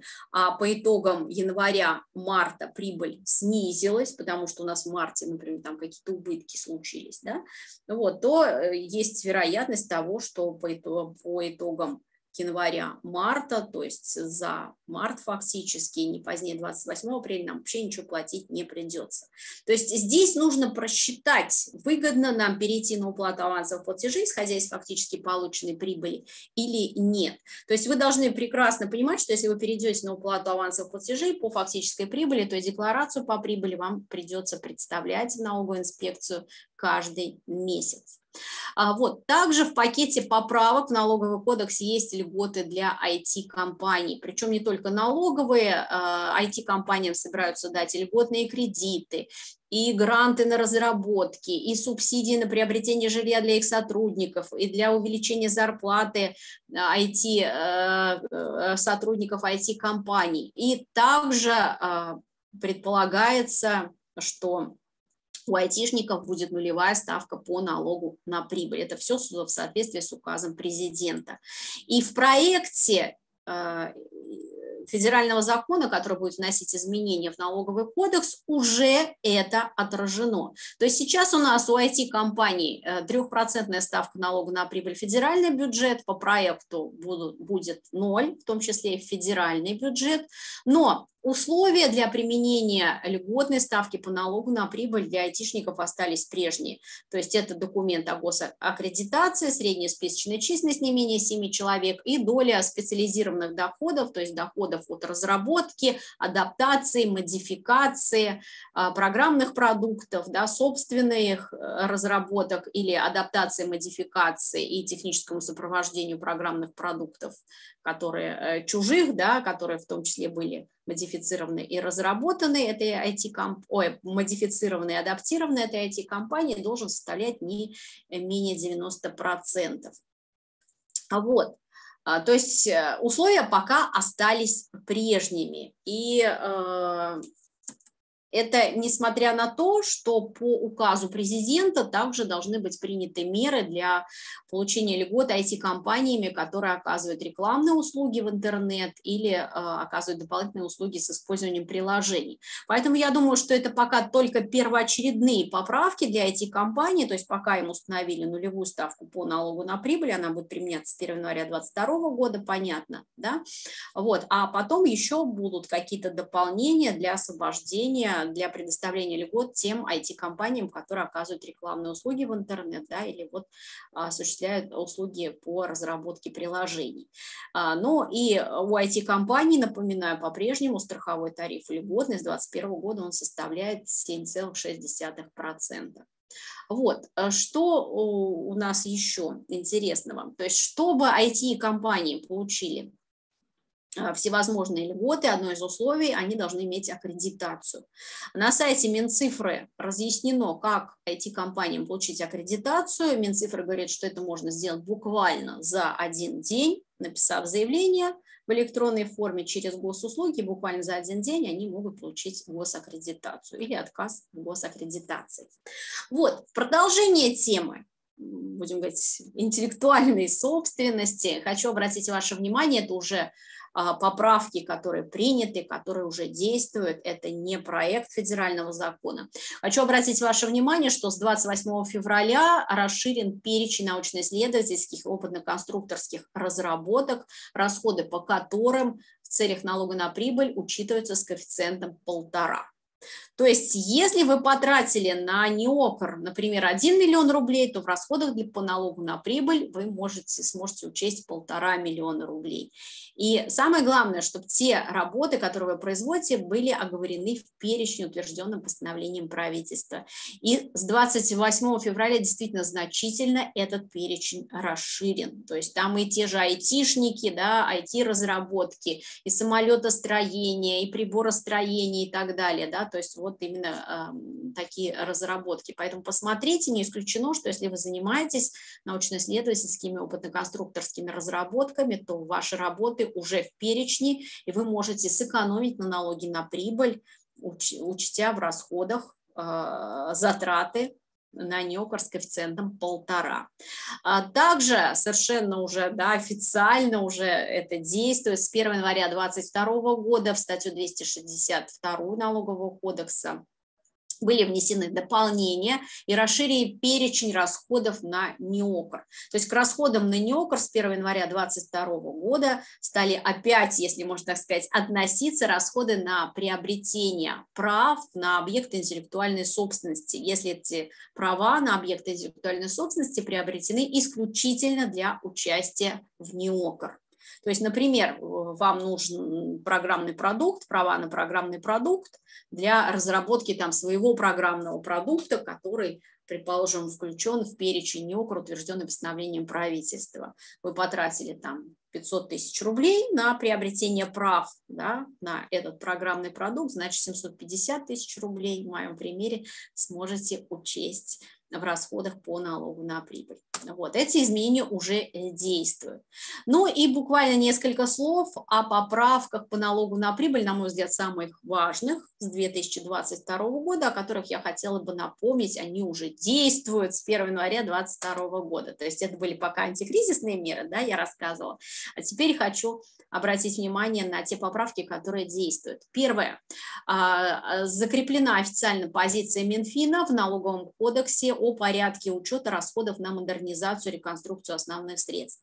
То есть с 1 января 2022 года в налоговом кодексе совершенно официально оговорено, что независимо от остаточной стоимости основного средства, расходы на его модернизацию и реконструкцию учитываются через амортизацию, то есть они увеличивают первоначальную стоимость основного средства.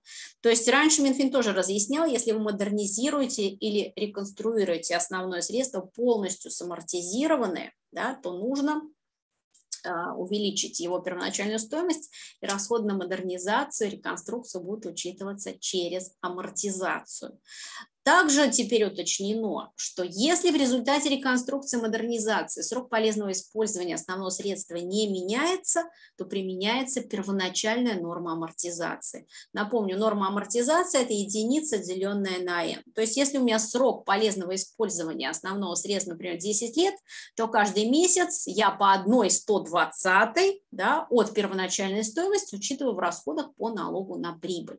То есть если я вложила в модернизацию реализацию основного средства, например, 500 тысяч, то на эти 500 тысяч я увеличу первоначальную стоимость основного средства и дальше, опять же, по 1 120 от увеличенной первоначальной стоимости буду признавать расходы на амортизацию. Понятно, что я буду амортизировать основное средство за пределами срока полезного использования.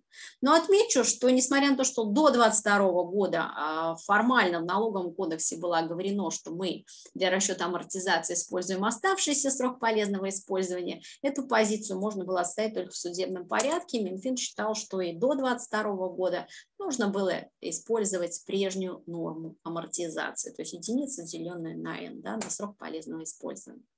Вот, а что еще у нас с этого года? Безусловно, самое главное нововведение по налогу на прибыль, которое так или иначе многих компаний затрагивает, это новый порядок учета лизингового имущества по новым договорам, то есть по тем договорам, которые заключены у вас с 1 января 2022 года. Только лизингодатель может амортизировать лизинговое имущество. Он это может делать с повышающим коэффициентом, не выше трех, исключение, как и прежде, составляет основные средства первой, третьей амортизационной группы. Да? Лизингополучатель учитывает в расходах только лизинговые платежи.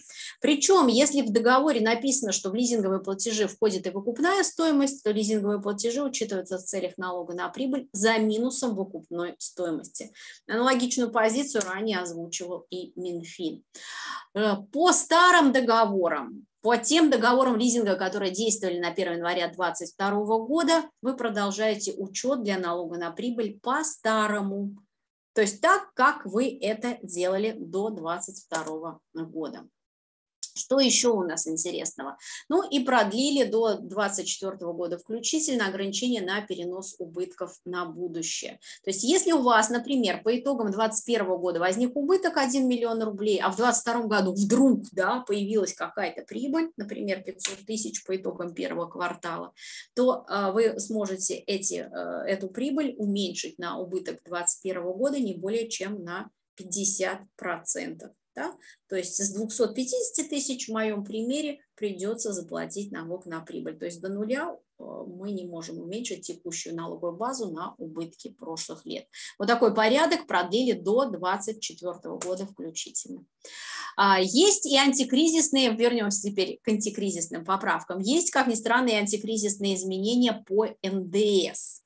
А, опять же, это пока проект, и если он будет принят, то действительно с 1 апреля 2022 года, Наталья уже сказала об этом несколько слов, вводится нулевая ставка НДС по двум услугам. Услуги, первый да, вид услуг – это услуги по предоставлению в аренду или пользование объектов туристской индустрии, а, причем не по всем а, не по всей аренде вот этих объектов, а только тех объектов, которые введены в эксплуатацию с 1 января 2022 года, в том числе после реконструкции, и включены в реестр. Этот реестр ведет, а, будет вестись в соответствии с постановлением правительства. То есть получается, при предоставлении новых будем говорить так, да, упрощенно, при предоставлении в аренду или там, например, в тоже безвозмездное пользование новых объектов туристской индустрии, а будет применяться у арендодателей, да, индивидуальных предпринимателей, организацию нулевая ставка НДС. Вот. А второй вид услуг это, наверное, да, ближе к делу, потому что, ну, что такое объекты туристской индустрии? Я посмотрела, гостиницы, пляжи и горнолыжные трассы, да. Вот, то есть, по сути, предоставление в аренду новой гостиницы будет облагаться по ставке 0% с 1 апреля 2022 года. Вот, а также нулевая ставка НДС с 1 апреля в соответствии с проектом, да, пока будет введена на предоставление мест для временного размещения, а, для временного проживания в гостиницах и иных объектах размещения. То есть, я так понимаю, кемпинги, там, гостиницы да, и так далее, хостелы всевозможные будут э, применять нулевую ставку НДС, конечно, если они плательщики этого налога. А нулевая ставка НДС по услугам гостиниц, да, по предоставлению, например, проживания в гостинице, будем говорить упрощенно, будет применяться до 30 июня 2027 года. А если э, Э, места будут предоставляться вот в новых объектах э, туристской инфраструктуры, да, индустрии, э, то нулевая ставка будет применяться в течение пяти лет с момента введения в эксплуатацию вот этого объекта туристской индустрии, включенного в реестр, утвержденный постановлением правительства. То есть, на мой взгляд, самое главное, да, какой вывод сделать, то есть те, кто предоставляет в аренду объекты туристской индустрии, их единицы, да, гостиниц, значит, значительно больше. То есть у гостиниц будет нулевая ставка НДС по предоставлению мест для проживания. Вот. Что означает нулевая ставка, если вы на общей системе налогообложения? Это значит, что вы вправе принимать к вычету входной НДС под эту нулевую ставку. Но вместе с декларацией по НДС, где вы заявили нулевую ставку, нужно будет представить соответствующий пакет документов, подтверждающих ставку Прошу прощения, то есть я не могла предвидеть, что тут соседи начнут ремонт. Ну, ну, что делать? То есть я бы к ним, безусловно, сходила. Вот, какие самые важные поправки по НДС, на что мне хотелось бы обратить внимание, на поправки, которые уже приняты с 2022 года. А, с 2022 года больше организаций, индивидуальных предпринимателей могут уплачивать НДС с межценовой разницей. Я думаю, что э, в первую очередь это касается тех магазинов, которые перепродают имущество, приобретенное у физических лиц. То есть это скупки, это автосалоны, и сейчас я думаю, что объем перепродажи бэушных Э, вещей от физических лиц будет больше. Значит, с 2022 года уплачивать НДС межценовой разницы могут не только автосалоны, которые приобрели автомобили у физических лиц для перепродажи, но и автосалоны, которые приобрели мотоциклы у физических лиц именно для перепродажи.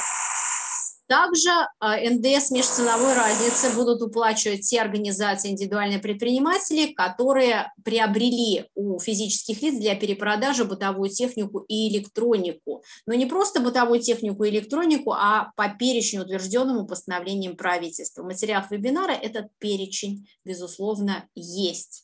Так вот, самое главное, что здесь нужно обратить внимание, что вот это, ну, льгота, не льгота, это, конечно, не льгота, да, это такой порядок уплаты НДС с межценовой разницы применяется только в том случае, если вы эти вещи у физических лиц приобрели именно для перепродажи, то есть поставили на 41 счет. Если вы тот же ноутбук купили для нужд компании, а потом будете продавать бэушный ноутбук, приобретенный у физлица, или вы приобрели автомобиль у физлица для нужд компании, основное средство, да, потом будете его продавать, то вы заплатите НДС с общей продажной стоимости, не с межценовой разницы. То есть вот это, будем говорить, льготное налогообложение для скупок, да, для автосалонов по системе трейдин и так далее.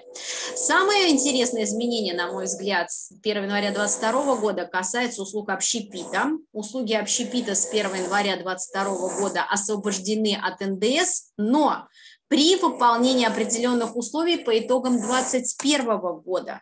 Напомню, чтобы в 2022 году услуги общепита освобождались от НДС, нужно было выполнить по итогам 2021 года два условия. Общая сумма доходов по данным налогового учета не должна была превышать 2 миллиардов рублей, и удельный вес именно доходов от общественного питания в общей сумме доходов за 2021 год должен был составлять не менее 70%. То есть если у вас промышленная компания, там есть столовая э, в этой промышленной компании, то понятно, э, что столовая не могла выполнить э, вот в этой промышленной компании такой объемный вес по учету, по своим специализированным доходам. Поэтому в моем примере столовая при промышленной компании, ее обособленное подразделение не может с 2022 года применять освобождение от НДС, потому что не будет выполняться условия по выручке. Вновь созданные компании и ИПшники могут применять освобождение по услугам общепита в 2022 и в 2023 году, да, то есть если они созданы будут, соответственно, в 2022 и 2023 году без а, каких-либо условий. Но самое главное, а, то есть есть здесь я понимаю, что организации общественного питания уже знают об этой льготе. Самое главное, что э, ради чего я затеяла, будем говорить, разговор об этой льготе. Хочу напомнить, что сейчас мы будем э, создавать декларацию по НДС за первый квартал. Да? Никто декларации по НДС не отменял. И а, поскольку услуги общепита с 1 января 2022 года освобождаются от НДС, то не забудьте в первом квартале восстановить НДС по тем товарам, работам, услугам, которые начали у вас использоваться в необлагаемых операциях. То есть нужно будет восстановить НДС по, будем говорить, продуктам, из которых вы сделали уже необлагаемые блюда в 2022 году. Нужно будет восстановить в первом квартале НДС по оборудованию, которое вы начали использовать в необлагаемых операциях. То есть э, вот основная нагрузка на общепит по НДС придется именно на первый квартал. И э, что касается недвижимости, если, например, у вас есть в собственности здание кафе или столовой, то НДС по недвижимости восстанавливается в особом порядке в четвертом квартале на основании статьи 171.1, то есть каждый год из 10 в четвертом квартале, то есть это не первый квартал 2022 года. Вот, и также хочу напомнить, что за первый квартал по НДС мы будем представлять обновленную форму декларации, в частности, в разделе первом там появились новые строки для тех, кто возмещает НДС в заявительном порядке. Вот, а, ну, я сегодня и так много времени заняла, и изначально я предполагала рассказывать о других антикризисных мерах, и, как уже сказала Наталья, все антикризисные меры мы собираем на нашем сайте, нашем телеграм-канале. Э, вот мы сегодня говорили о том, что ставка рефинансирования, да, ключевая ставка банка увеличена была до 20%, в связи с этим подорожали кредиты, и на нашем сайте, и в моей презентации вы можете найти ссылки, в том числе и на проекты федеральных законов, и на уже принятые постановления правительства, которые регулируют вопросы предоставления кредитов, льготных кредитов. То есть уже есть мероприятия по предоставлению а, кредитных каникул а, в определенных отраслях экономики, уже утвержден этот перечень из 70 кодов. Есть э, постановление о предоставлении, там, например, льготных кредитов а, сельхозпроизводителям, да, вот как вы видели, IT-компаниям и так далее. То есть подробно я, конечно, об этом сегодня уже рассказывать не буду. Вот, то есть все вы можете а, посмотреть на нашем телеграм телеграм-канале, в Яндекс.Дзен, в ВКонтакте и в Одноклассниках. Можете скачать, э, то есть из презентации перейти и подписаться на наш канал. Ну, вот и если раньше мы э, говорили о том, что следите за вашим налоговым здоровьем компании, следите за вашими налоговыми рисками, и мы готовы а, вы, провести системно-комплексный аудит со страховкой от налоговых претензий, с поддержкой нашими налоговыми юристами в случае, если такие претензии возникнут, да, и с поддержкой Ингострах, которая компенсирует штрафы и пени в случае доначисления налогов по результатам проверок в которых мы провели системно-комплексный аудит, то теперь мы меняемся, каждый день все что-то меняется, и мы тоже меняемся, без этого никак, да, хочешь э, стоять на месте, надо бежать, как говорится. И как уже сказала Наталья, мы теперь предлагаем оптимизационный аудит, это, по сути, аудит управленческого учета, где наши специалисты по управленческому учету могут подсказать, какие расходы компании можно сократить, как сократить дебиторскую задолженность, как а, проконтролировать сохранность активов и так далее. То есть это может быть отдельной опцией в рамках а, обычного аудита, да, может быть и отдельной услугой. Все, то есть зависит от вас. И перейдя по QR-коду, вы можете узнать приблизительную стоимость аудита в нашей компании. Вот, пока все, что я хотела рассказать по налогам, рассказала. То есть мы видим, что э, большая часть еще антикризисных поправок на уровне проекта, принят в первом чтении, был 11 марта, но не исключено, что прямо сегодня второе, третье чтение пройдет, и уже через два дня это будет реальный федеральный закон. Поэтому смотрите, следите, то есть я вас сориентировала, да, к чему готовиться уже, что реально принято, и теперь, если есть, я готова отвечать на вопросы.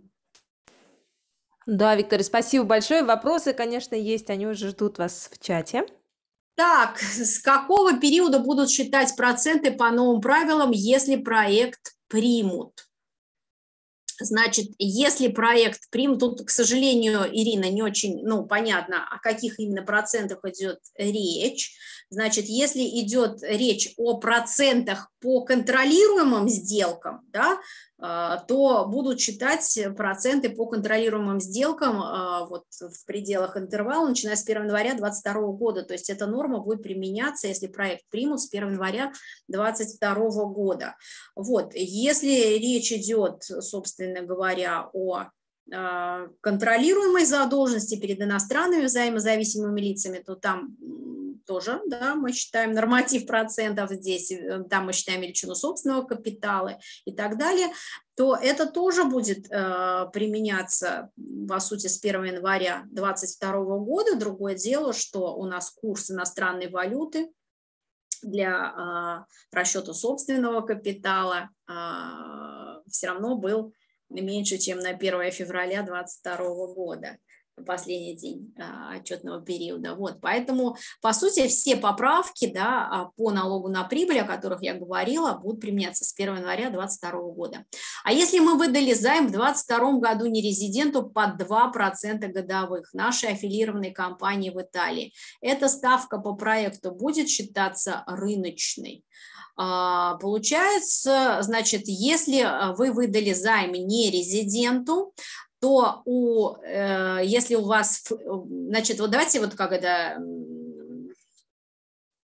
э, как это, мухи отдельно, извините, котлеты отдельно. Первое, да, что я должна уточнить, да, а, относится ли вот эта сделка по выдаче займа контролируемой. Если она не относится к контролируемой сделке, то у вас все проценты да, а, то есть вы можете учитывать в расходах и доходах проценты, которые у вас предусмотрены договором. То есть вы уже не тестируете их на рыночность. Другое дело, что если, а, вы выдали займ не резиденту, да, то есть вы на рыночность не тестируете.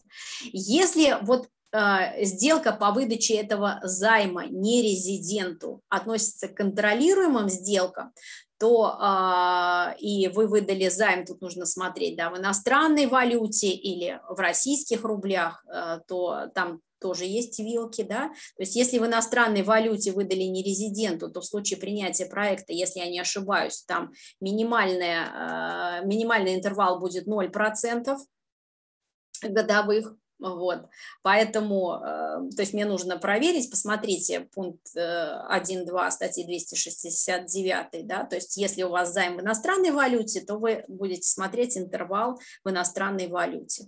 Вот. И там минимальный интервал, если я не ошибаюсь, по займам иностранной валюте составляет 0% годовых. Поэтому при принятии проекта, да, внесении изменений в налоговый кодекс, скорее всего, да, у вас будет вот эти 2% годовых будем говорить, рыночными процентами. Если вы вдруг выдали нерезиденту э, займ рублевый, то после принятия проекта а, минимально, вот это я точно помню, минимальный интервал будет а, начинаться от 75% ключевой ставки. Если я не ошибаюсь, 75% от 20% а, ставки составляет 15% годовых. Да? Вот. Тогда ваши 2% дохода, получается, будут не рыночными. И то Здесь я, вот на самом деле, не совсем правильно ответила на ваш вопрос. Почему? Потому что 75% от э, ключевой ставки текущей я должна взять для расчета того, рыночные, не рыночные эти проценты.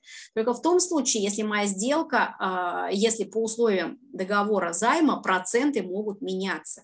Если по условиям договора займа, то есть вы выдали займ не резиденту, проценты по договору не могут меняться. То есть вы выдали по 2% годовых и все. Да? Тогда вы берете ставки Э, или там вот раньше была евробор, да, а теперь там, ну, в зависимости от валюты по-другому они называются, к сожалению, на память не помню, как они теперь называются с 1 января 2022 года.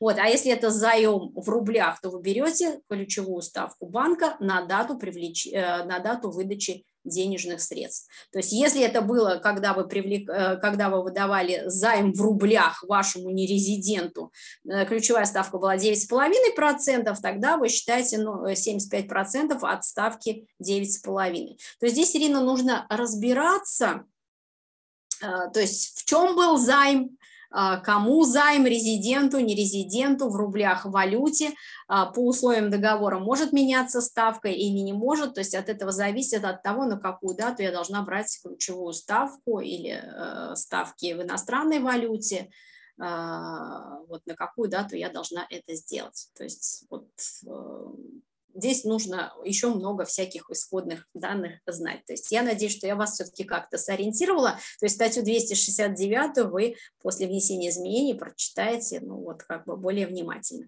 Так, а если мы выдали займ в 2022 году не резиденту, так, в нашей аффилированной компании в Италии эта ставка будет по проекту считаться рыночной. В принципе, а, ну это я уже прочитала, прошу прощения. Так, про доходы на выведение сразу до 2024 года распространяются. А если не так?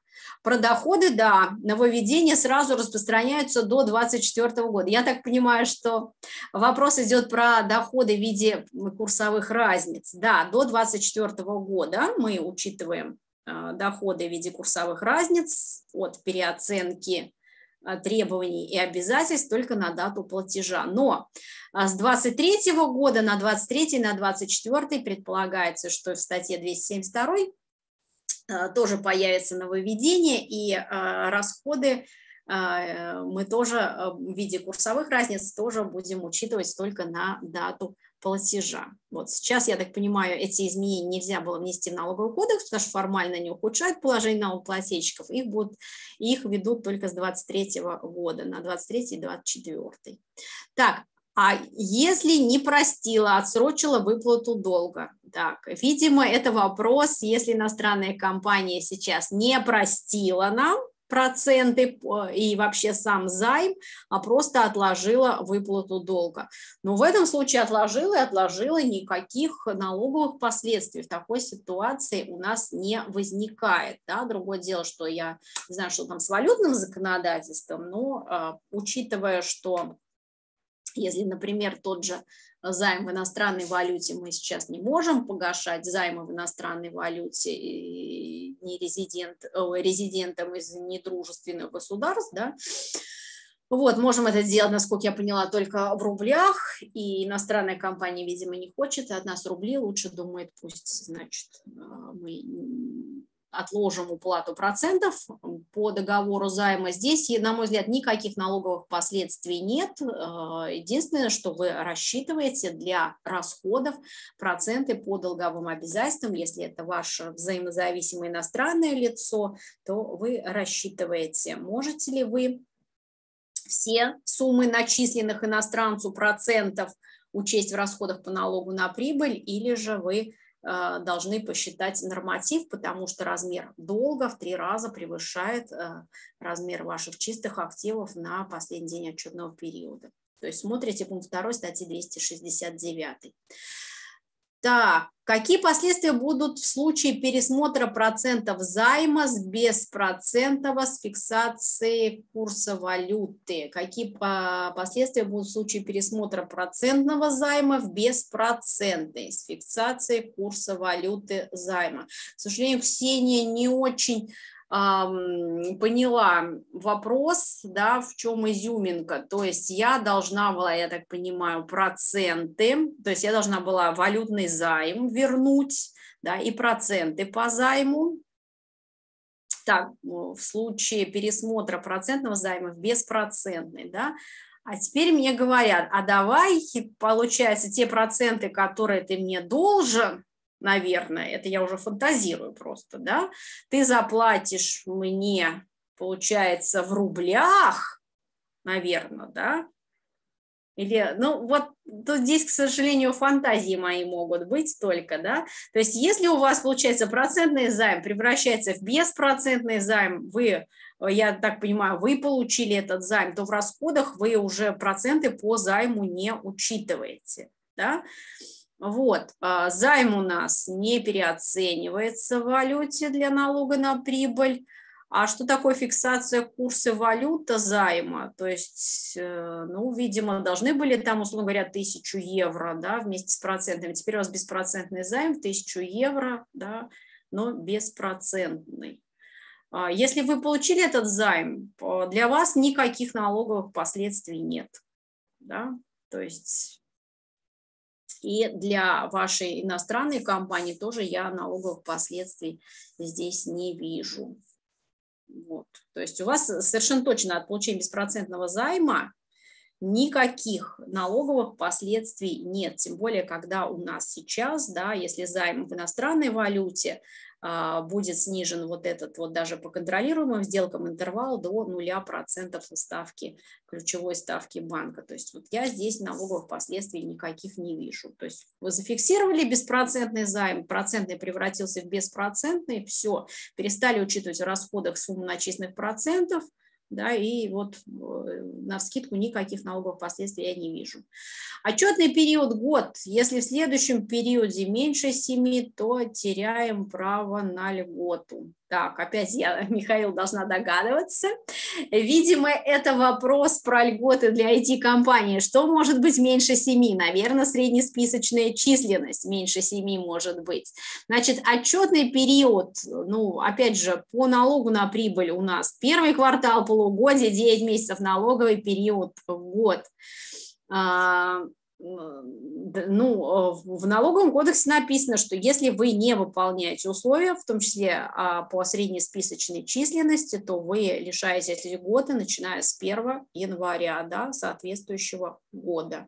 Поэтому, э, получается, вы теряете льготу по налогу на прибыль, по страховым взносам не в следующем периоде, а с начала того периода, в котором эти Э, условия были нарушены. Вот, то есть, например, по итогам э, полугодия у вас среднесписочная численность будет меньше 7 человек, значит, вы по итогам полугодия нужно будет пересчитать налог на прибыль по общеустановленной ставке и пересчитать страховые взносы по общеустановленной ставке. Учитываются частично занятые сотрудники по расчету среднесписочной численности. А, Валентина, к сожалению, вот на вскидку я не помню, сейчас объясню почему. А, потому что а, ну, как-то проводила специализированный семинар для этих компаний, я разбиралась с этим вопросом. Дело в том, что там для налога на прибыль среднесписочная численность, если я не ошибаюсь, а для страховых взносов численность сотрудников. И численность и среднесписочная численность считаются считаются по-разному. Причем по страховым взносам для вновь созданных компаний, там, ну, условно я могу ошибаться, применяется средняя списочная численность, а для старых компаний численность. Поэтому вот э, на вскидку, да, э, я, понимаете, не каждый день консультирую IT-компании, чтобы вот прям на вскидку вам ответить. Поэтому, э, Валентина, есть разъяснение Минфина, как считается среднеспичная численность, то есть мы берем, да, и как считается численность, мы берем указания а, Росстата по расчету численности среднесписочной численности, а вот что именно, какую численность вам нужно рассчитать, вы четко посмотрите либо в 25 главе налогового кодекса, если речь идет о налогу на прибыль, либо в соответствующей статье 422, если я не ошибаюсь, а, по страховым взносам. То есть вот именно о какой численности, в каких случаях идет речь. К сожалению, вот я на вскидку не припомню. Да, где среднесписочная численность, а где численность. По-моему, для страховых взносов численность, а для прибыли среднесписочная. Вот, и для прибыли, по-моему, совместители там даже не входят. Поэтому вот здесь нужно, ну, уже тонкости, цена вопроса высока, поэтому э, лучше получить или письменную консультацию, да, или вот устную, но основываясь на нормах законодательства, то есть на скидку не готово. Если мы разрабатываем ПО для своей компании, не для продажи, условия НИОКР распространяются на нас.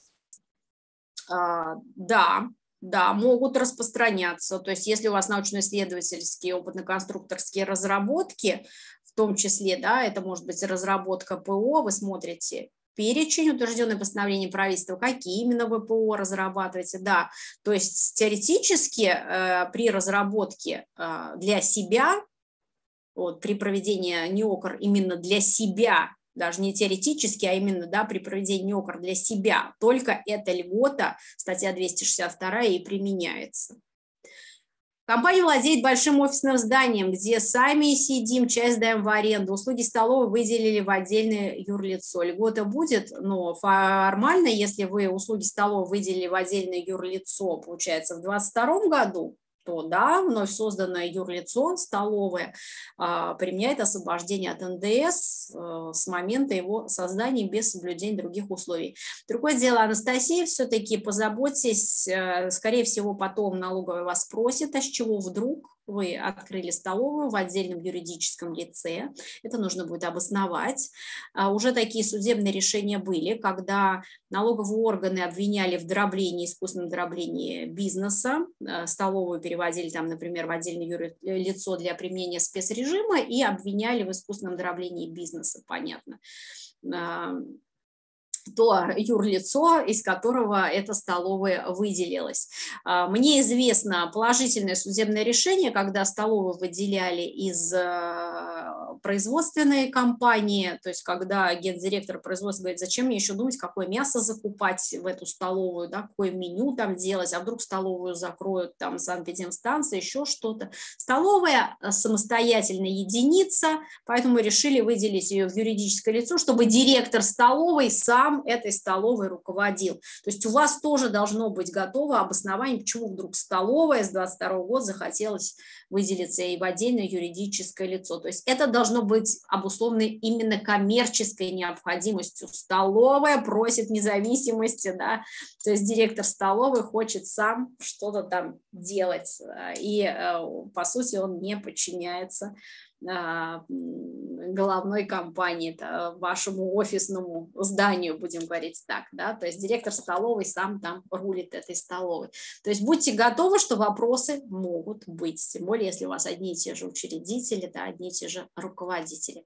Все, на все вопросы, которые были, я так понимаю, я ответила. Большое спасибо за вопросы. К сожалению, как видите, не на все сейчас можно ответить, да, что-то просто э, специ специфические какие-то вопросы, да, не, не, ну, как это, не каждый день с ними сталкиваешься, что-то еще не продумано, вот, и, а по каким-то вопросам необходимо уточнение, поэтому, ну, что делать, а, вот.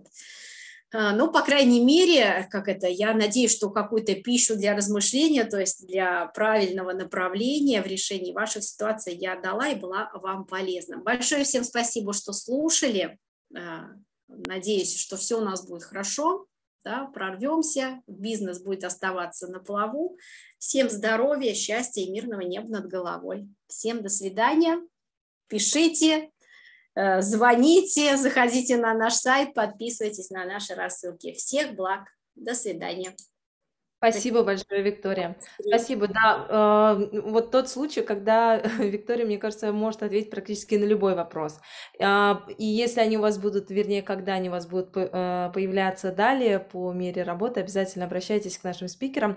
Напомню, друзья, что видеозапись и презентации. Видеозапись, в принципе, останется прямо сейчас на этой же странице, где вы сейчас смотрите прямой эфир, поэтому можно будет поделиться с коллегами, вернуться, переосмыслить что-то, пересмотреть. Если вы были не сначала, то, соответственно, а, восполните этот пробел. Презентации мы выложим здесь же а, в ближайшее время. После этого будет рассылка, поэтому вы точно не пропустите. Спасибо большое, что были сегодня с нами и до новых встреч. А, пусть у вас все будет хорошо.